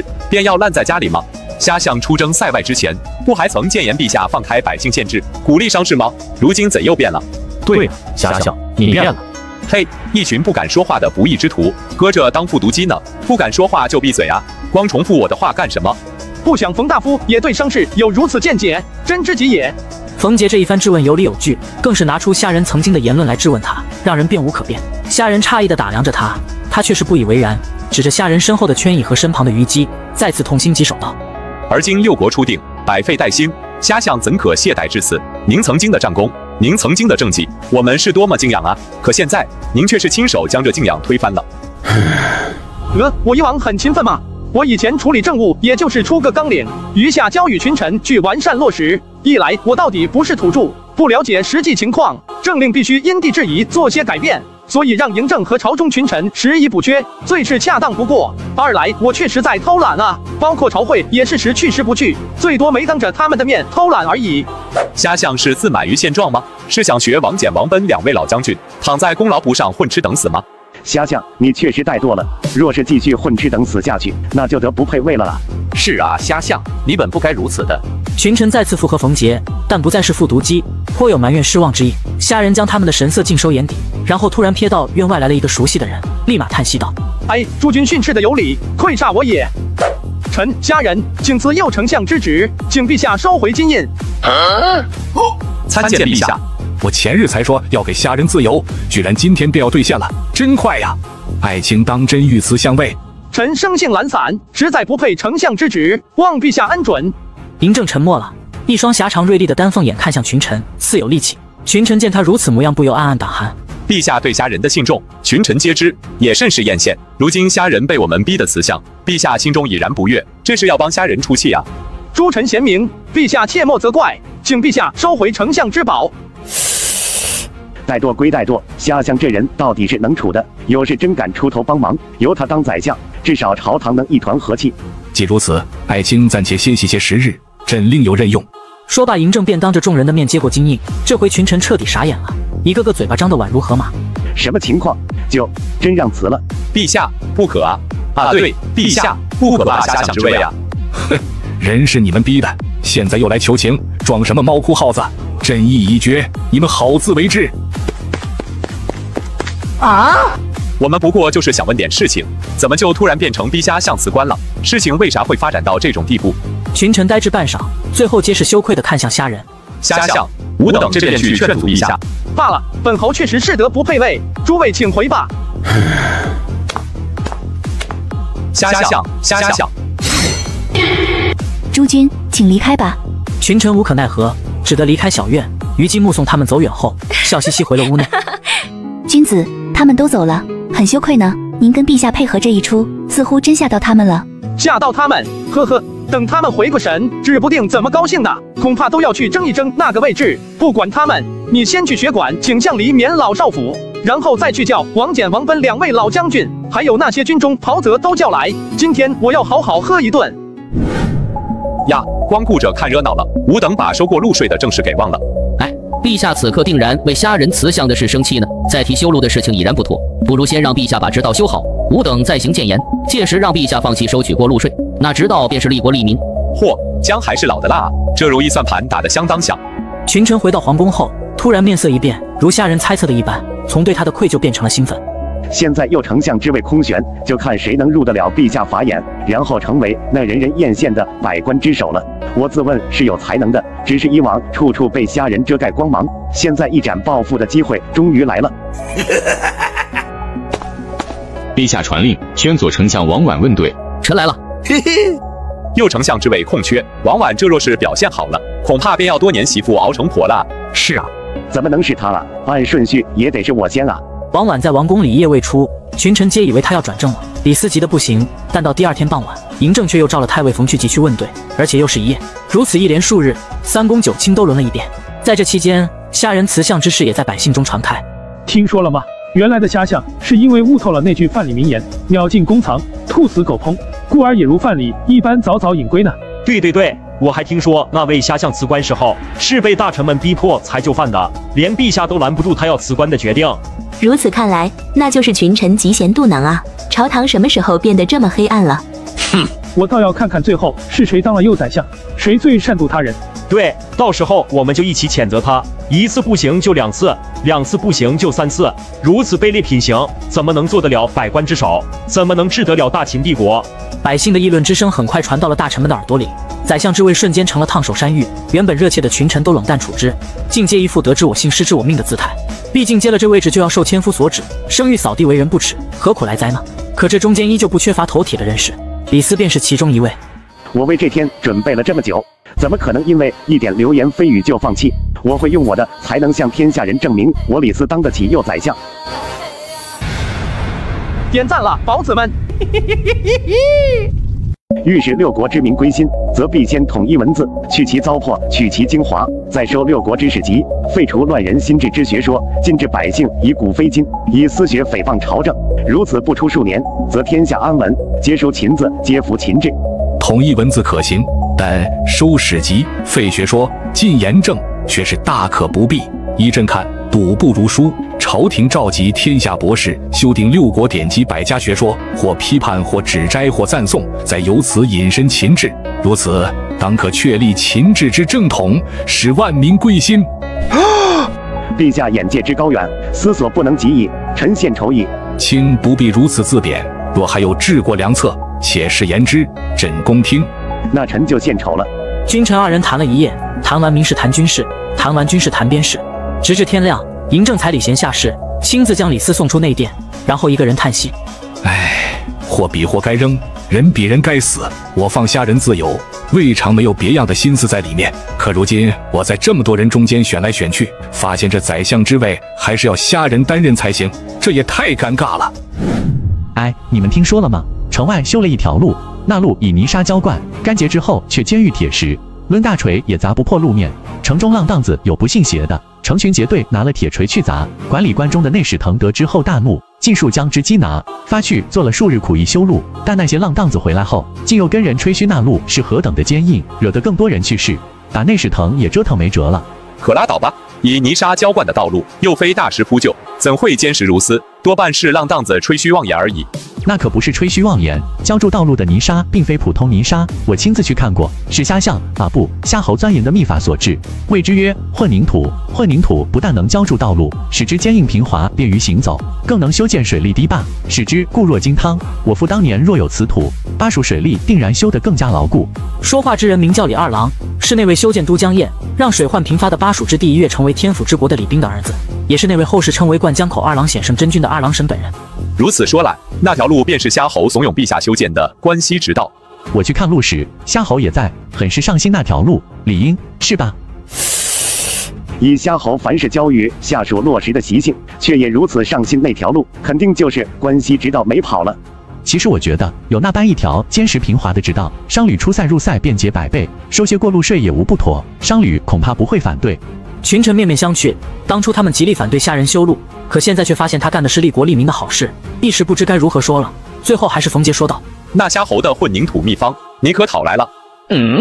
夏侯没有将秘方上报朝廷请功吗？得，他是堂堂大秦彻侯，站在二十等爵的最高点，已然是封无可封了。他把秘方上报朝廷，能请个什么功啊啊？那混凝土乃是造福万民之物，虾猴怎能藏私？我还指望用混凝土重修一次都江堰和郑国渠，来个一劳永逸呢。不行，我得去找虾猴请教秘法。李二郎直肠子发作，转身便往外走，众臣没人阻拦，反而是满脸鼓励，一副李坚成果然是为国为民的敬佩模样。但李二郎走出没两步，便又停下，面色尴尬的回来了。你怎么又不去了？前些日大家去找虾仁问罪，我也是其中一员呢。纵然脸皮再厚，如今又怎能张得开嘴，空口白牙去讨要混凝土秘方呢？这好像也对，或许应该去找陛下，让陛下向家侯讨要秘方。众人沉默良久，还是李斯说了个主意。但李二郎这回是选择性耳聋了，能坐在这纸房里的人，没谁是真的傻。他已然看出诸位同僚是想让他当出头鸟了，他才不接话。又是一阵沉默后，李斯无可奈何，只得换个方法。若不然，吾等同去向陛下进言。上。这些人想的是真美啊！推我出头，让我去找虾仁讨要秘法，不可能！我现在已经后悔让虾仁辞相了，正愁怎么让你们主动去找虾仁复相呢？这就送上门了。哈哈，朱清所言朕已明了，镇国侯所制混凝土却是利国利民无益，但镇国侯如今慈祥赋闲，若以家国大义逼迫他献出秘方，恐有落井下石之嫌啊！朕断不能为也。嬴政摇头拒绝群臣提议，这模样。知道的他是那个奉行法家的冷酷始皇帝，不知道的还以为他是什么仁厚君子呢。群臣腹诽，却又无言以对。话说到这份上了，我们也不敢再怂恿陛下去行不义之事啊。不过，若镇国侯复归相位，那混凝土秘方便不需尔等讨要，他自己也会拿出来造福百姓。嗯嗯，什么情况？陛下想让虾侯复归相位吗？他可是刚离开那个位子啊，屁股还没凉快会呢，这就让他又坐回去。这般看朕作甚？当日可是尔等逼迫镇国侯辞相的吧？这虽然陛下说的是事实，但他把锅全甩到我们头上，属实有点不当人君了啊！有本事你当时别收回相印啊！真以为这满朝公卿都是不明君王心术的渔夫渔妇吗？朕已听闻，近日咸阳城中百姓对尔等那日之行径，可是颇有微词呢。尔等若有心，便去寻个镇国侯，将这相印交还。嬴政说完，便让赵高将案头的金印交于王婉，然后便让众人出去了。王婉捧着金印，与群臣相视，苦笑不已。陛下也真是，唉，没办法，吾等为人臣者便是如此。诸君走吧，去找虾侯啊，不，找虾相交还相印。诸位来的不巧，虾侯近日都在城外修路的工地上，并不在家。好的，叨扰姑娘了，吾等这就去。则先前听二郎说的邪乎，如今刚好在去找虾人的路上见着这路了，那老夫就先不着急找他了，先试试这路到底如何坚实。说着，冯杰便拔出大剑往路牙子上劈。朱晨有样学样，也是拔剑劈砍测试。这时代文臣武将的界限不甚明显，都是上马治军下马牧民的狠角色。看热闹的百姓见他们个个高官博带，也不敢上前劝阻。众人正砍得起劲的时候，突然传来一声吆喝：“嘿呀，哪来的一群瓜怂，竟敢劈毁本侯的路！”怎么又是你们？前些日子本狗子出去有事没看住，回来就让你们偷了家，把我主人的官位给卸了。今天居然还敢来破坏我主人修的路，本狗不发威，你真当我是病猫啊？去去去，拿着你们的剑赶紧走！行了，小辉，回来吧。诸君又来找什么茬了？那个，吾等只是一时心急，故而视之，并没有存心之意。且这路也没损毁，只是砍碎些粉尘而已，还望家相莫怪。哼，狡辩！拿了他们押去修路。啊！俄的哥，咱要不要这么勇？他们可是王侯公卿，不是平民百姓。你莫不是喝大了，酒劲上头了？怎还不动？尔等见贼不擒，可是等着连坐。百姓们顿时一拥而上，将傻眼的群臣缴械缉拿，顺着道路押往施工处。滕公，这合适吗？虽说秦法行家王侯公卿，但那些大臣们年岁最小的都四五十了，属于兽性级别，可不是年轻力壮的浪荡子。他们纵然有罪，也该自执剃罚啊！这般押去修路，累坏几个咋办？近日那些毁坏道路的浪荡子，实在是抓之不绝，唯有用诸君杀鸡儆猴，方可震慑。回头无亲去赔罪，想必诸君也不会见怪。嘿嘿，行吧，那咱们回去继续饮宴，顺便看看诸君劳作之雄姿，哈哈。好嘞。这内史腾能处，嬴政选这人做内史令，执掌关中民事治安，算是选对人了。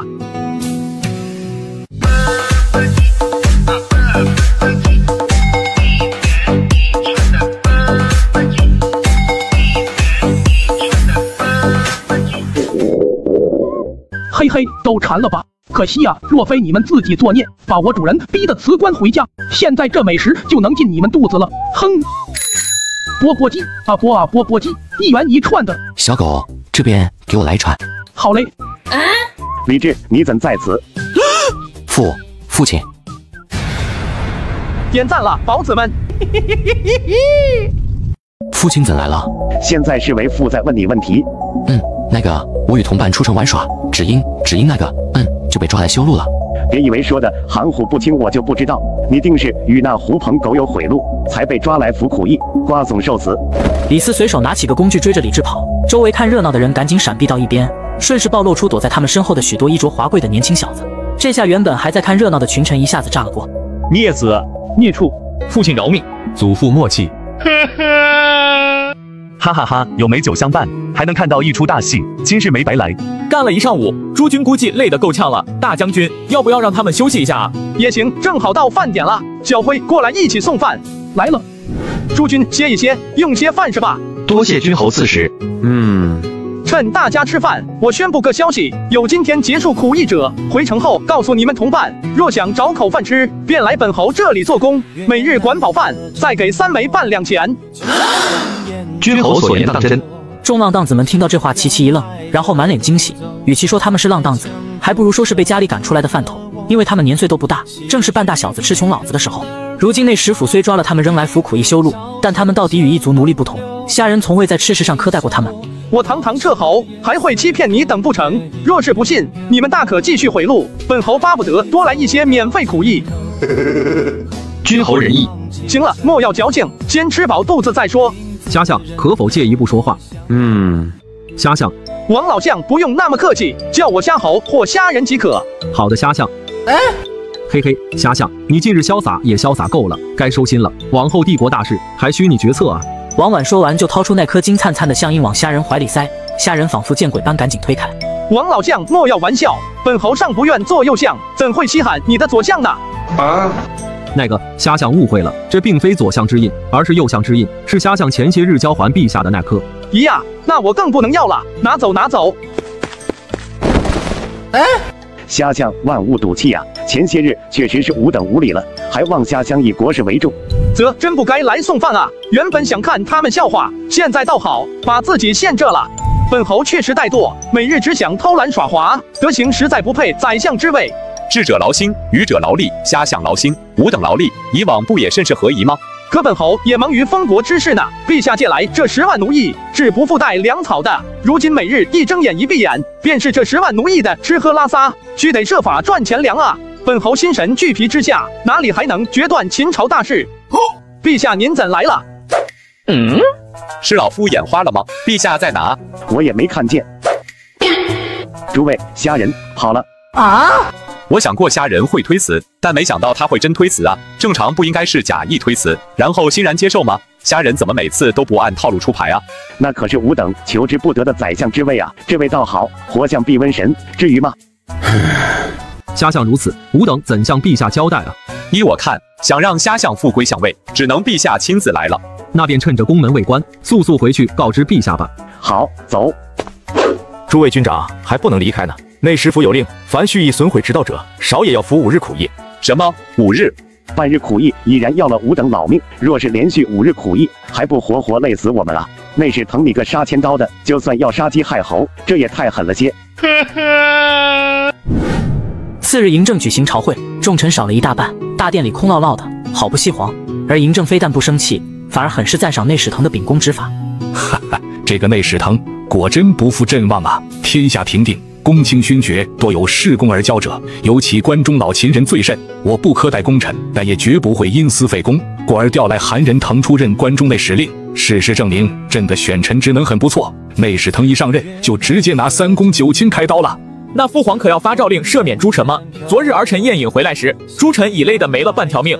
不不不，你们这些公子犯法，尚且要与庶民同罪，朕如何能赦免他们？比贝身为公卿，尤其那李斯身为廷尉，却知法犯法，关中骄纵之风，多半便是他们带起。再说累一些又何妨？总比割鼻剁手要好受些。若非夏卿主张早让廷尉府一法，将死刑之下的肉刑皆改为苦役，此番便有比贝受的。这一番话说的扶苏哑口无言。但他到底是人后，转而说道：“诸臣年岁多长，当以家中子孙剃发，此也违法。”嗯，你个逆子，不跟我唱反调会怎样？不为人子，更不类父啊！父皇不要再打了，我错了，我错了。哼，去转告诸臣，夏卿何时复归相位，比贝便何时结束苦役。诺。虾仁昨日抗拒的姿态很是明显，想让虾仁复归相位，简直是不可能完成的任务。这是陛下自己不肯来，可找我们上啊！哎，没办法了，虾仁不复相，我们便要一直服苦役，这怎么能行？诸君，走吧，此番不管用什么方法，都要叫虾仁复归相位。诺。群臣凛然，随之将手中陶碗摔碎，下了巨大的决心。扶苏看得无语，周围浪荡子们一时满脸呆滞。这阵势，你们确定是去求夏侯任相？咋看着更像是壮行要去刺杀夏侯啊？确实，若再来一句“风萧萧兮易水寒，壮士一去兮不复还”，便是荆轲也多有不如。是呢。虾相，请复相位。还望虾相以国事为重，复归相位。虾人默然不语，足足沉默好半晌，才突然看向群臣身后道：“陛下，你怎来了？”呵呵，虾相说笑了，这已经是您第二次用这招了。呃，行吧，诸君，本侯已然说过，手下有十万奴役要供养，实在分身乏术。如今更是有无数来做工的浪荡子，本侯若复归相位，谁挣钱粮来供养他们？诸君嘛，啧，这话说的好似他家中产业离了他便不能挣钱似的。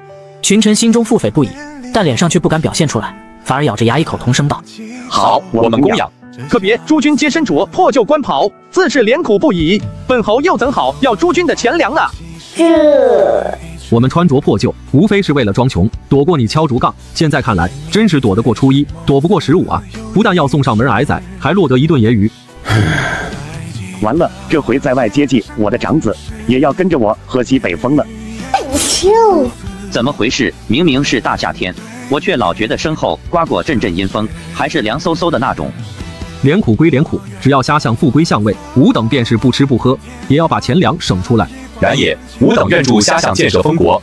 则我缺钱粮吗？缺，但也不缺，缺是因为我想开办更多的学馆，不想把有限的财货全花在建设河西走廊上。不缺，则是因为我产业众多，如果处在赋闲状态，或者做个闲职博士，便有精力开发更多产业，更快的把学馆开遍大秦。所以群臣想用钱粮让我复归相位，那完全不可能。而且嬴政若真想让我复相，早该亲自来找或召见。而不是让这些群臣来，还是很有必要让嬴政绝了心思，省得别别扭扭，也让我不得清闲。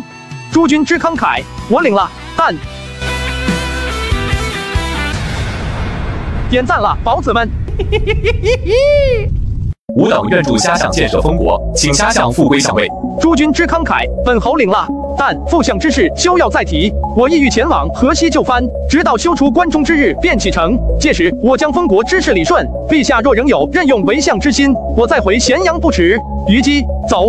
虾仁话说到这份上，群臣不敢再拦他，只能无可奈何地目送他牵着虞姬渐行渐远。好半晌，李斯突然反应过来不对劲，表情古怪地开口。方才夏侯说的是心领了还是领了？群臣齐齐一愣，旋即俱是双目圆睁。心领了，那叫婉拒；领了，那叫接受。中华文化博大精深，一字之差，谬之千里啊！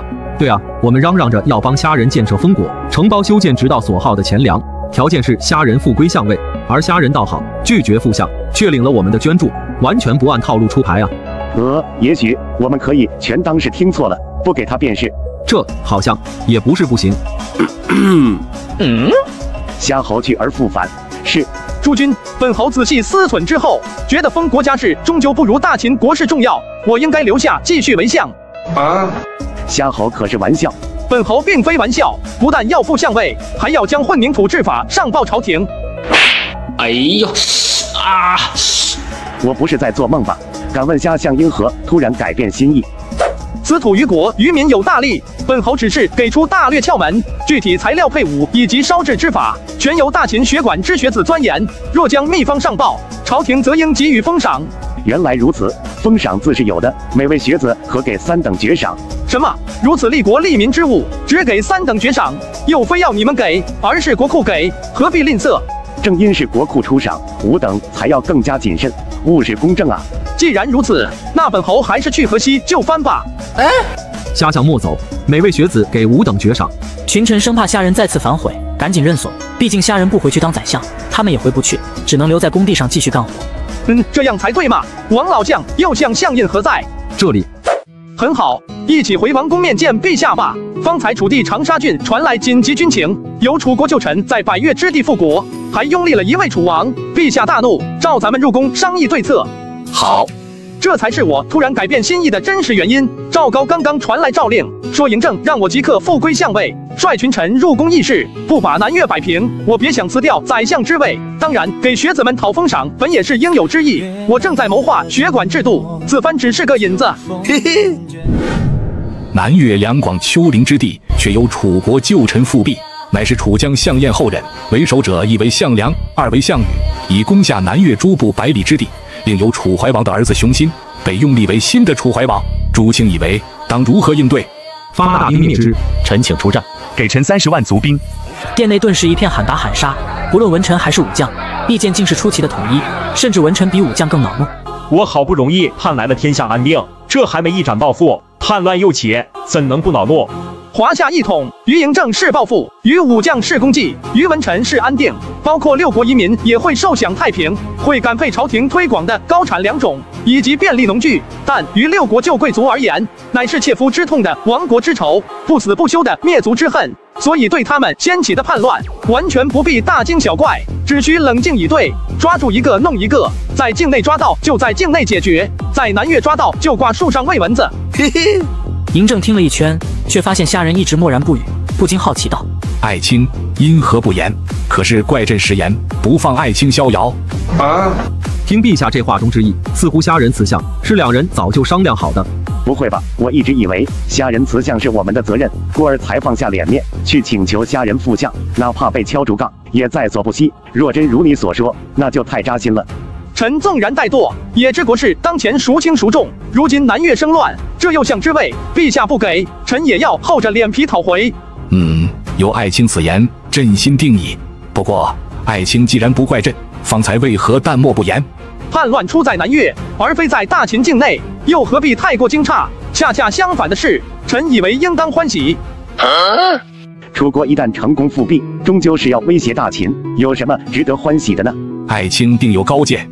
且言之，楚国旧族复辟，却不敢在楚地，反而跑到南越之地，这表明楚地人心安稳，郡县统治稳固，此为一喜。再者，楚国旧族与南越诸部争抢国土，必然搅得南越诸民不得安宁。依臣之见，便让他们狗咬狗，必要时资助弱势一方，最好将南越之地彻底打烂。长沙郡只需做好防备，接收逃难越民，二者鹬蚌相争，待时机成熟，大秦再发大兵，坐收渔翁之利即可。此为二喜。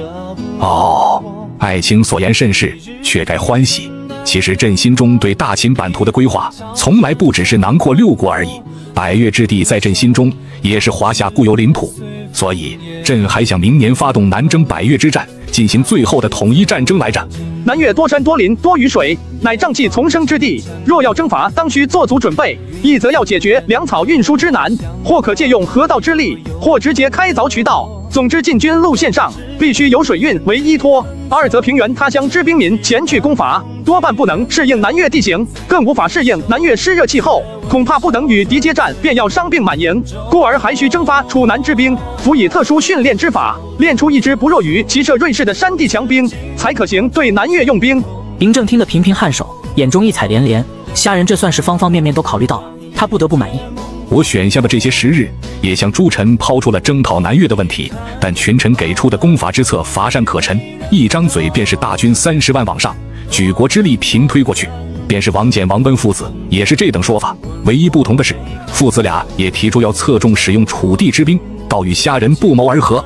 不知虾相所言的山地强兵应如何训练？以往大秦行征讨之事，都是兵卒自备物资，而虾向前番征讨匈奴提出装备三万骑兵锐士，一下子便榨干了国库。近日百姓完成秋收，赋税才收上来，不会再来一次吧？山地强兵与骑射锐士是不同的，只需少量新式兵器即可，会而不费。那就好。至于具体训练之法吗？臣当年参加伐楚之战，也曾训练麾下士卒适应楚南战场。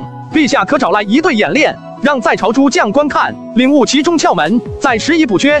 好，赵高，传问宫中禁卫可有当年随虾卿伐楚者？俱找来于殿外演练。诺。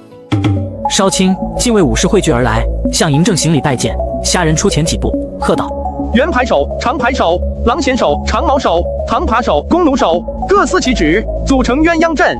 禁卫武士们愣了愣，继而迅速行动，互相询问彼此之擅长，转瞬便组成数个小阵，每阵十二三人。很好，陛下，臣当年参与伐楚之战，攻至与百越接壤的楚南时，险些吃了亏。楚南尽是山林水泽，大军阵完全施展不开，而当地之楚兵又翻山入林，如履平地，最善伏击偷袭。臣当时颇为头疼，只得暂停进军，以此阵训练士卒，应对楚南兵。此阵由十三人组成，胜在灵活，攻守兼备。在山岭丛林中遇敌伏击，可迅速成阵，与敌展开混战。此阵拆开，仍是两个相同小阵，故名鸳鸯阵。鸳鸯阵汇聚在一起，则可成大阵，同样攻守兼备。善演练一番，可有当年便同在一阵者？有。演练接敌？诺。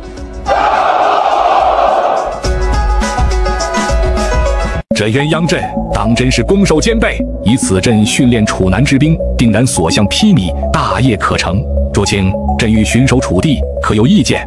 这虽说天子巡守四方能起到安定人心的作用，但只要是巡视，多少都会浪费民力。或许是受虾仁这位宰相的影响，他不喜朝廷浪费民力，我们便也对需要动用民力的事情秉持谨慎态度，不知该如何说。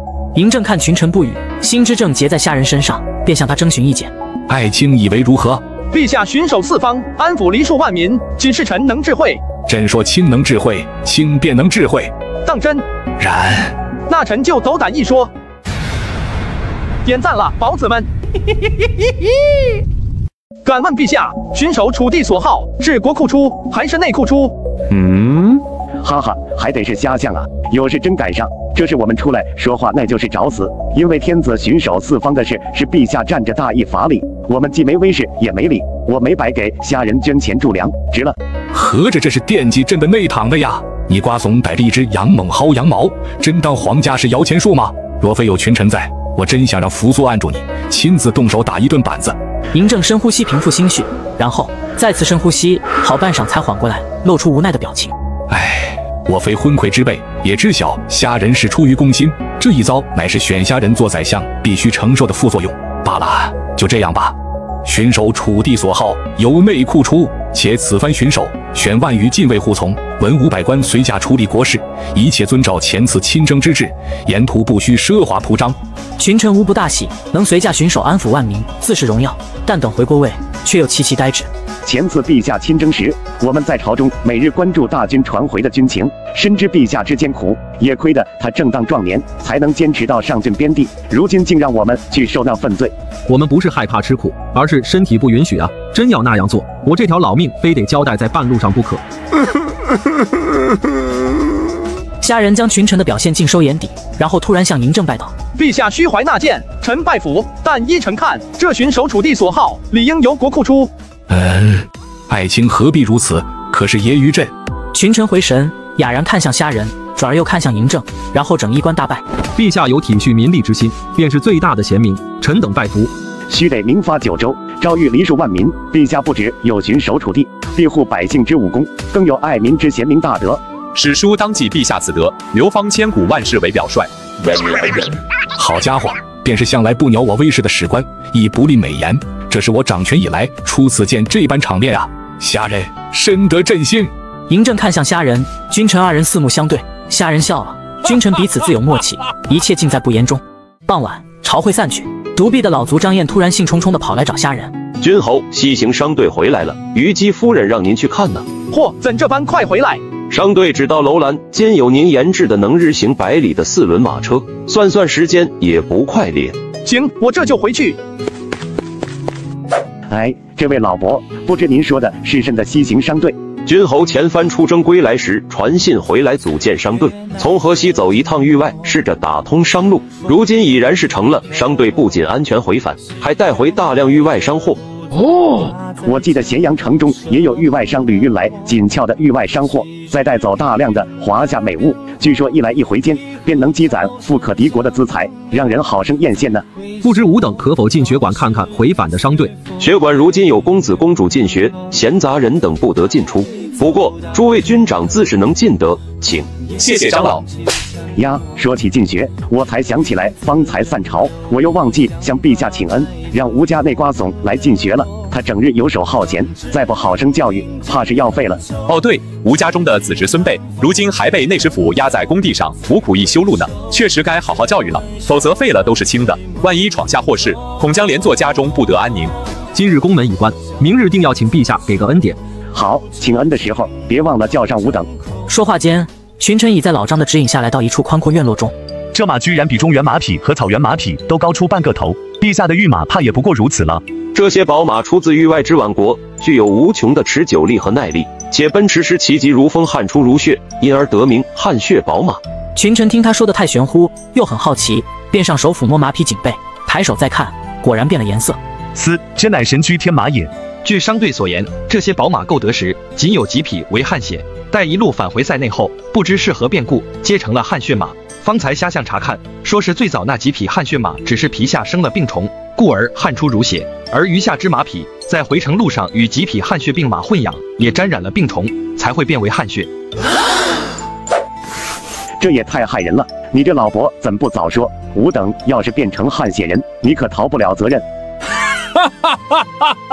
怎的？我说啥，你们还信啥了？若真是这样，瞎相还能让他入赛？嗯，是是你。弟别来无恙乎？群臣看到两人，皆是表情古怪，因为来人正是李斯的师兄韩非。他当年在牢狱中忧愤成疾，如今已是须发皆白。呵呵，兄倒是愈发有威仪了。若无威仪，怎能入仕为官？非日日可盼陛下启用呢？啊！哈哈，逗你的，我早就想开了。我来虾仁这里教书之时，得他获准，回去韩地接家眷来咸阳，见过如今韩地百姓的生活，堪称丰衣足食、太平安乐，比关中老秦人不差，甚至比韩王统治时更好。所以我觉得我的用武之地也没多少了，只想在这血馆中终老一生。但愿如此。哼，瞎相，不知这些汗血马是要留之自用，还是要贩卖换利？若是贩卖，吾想走个友情价买几匹。吾等也想。我会留下一两匹自用，余下的贩卖。不过诸位却是不必买，我每人赠一匹，但也只有一匹，因为余下我还有大用。河西商路能否繁盛，全靠他们。啊呀，那吾等便不要也不买了，还是留给虾象做大用为好。对啊，我们与您都有袍泽之情，深知您任相便要避嫌，所以您敢给，我们也不敢要。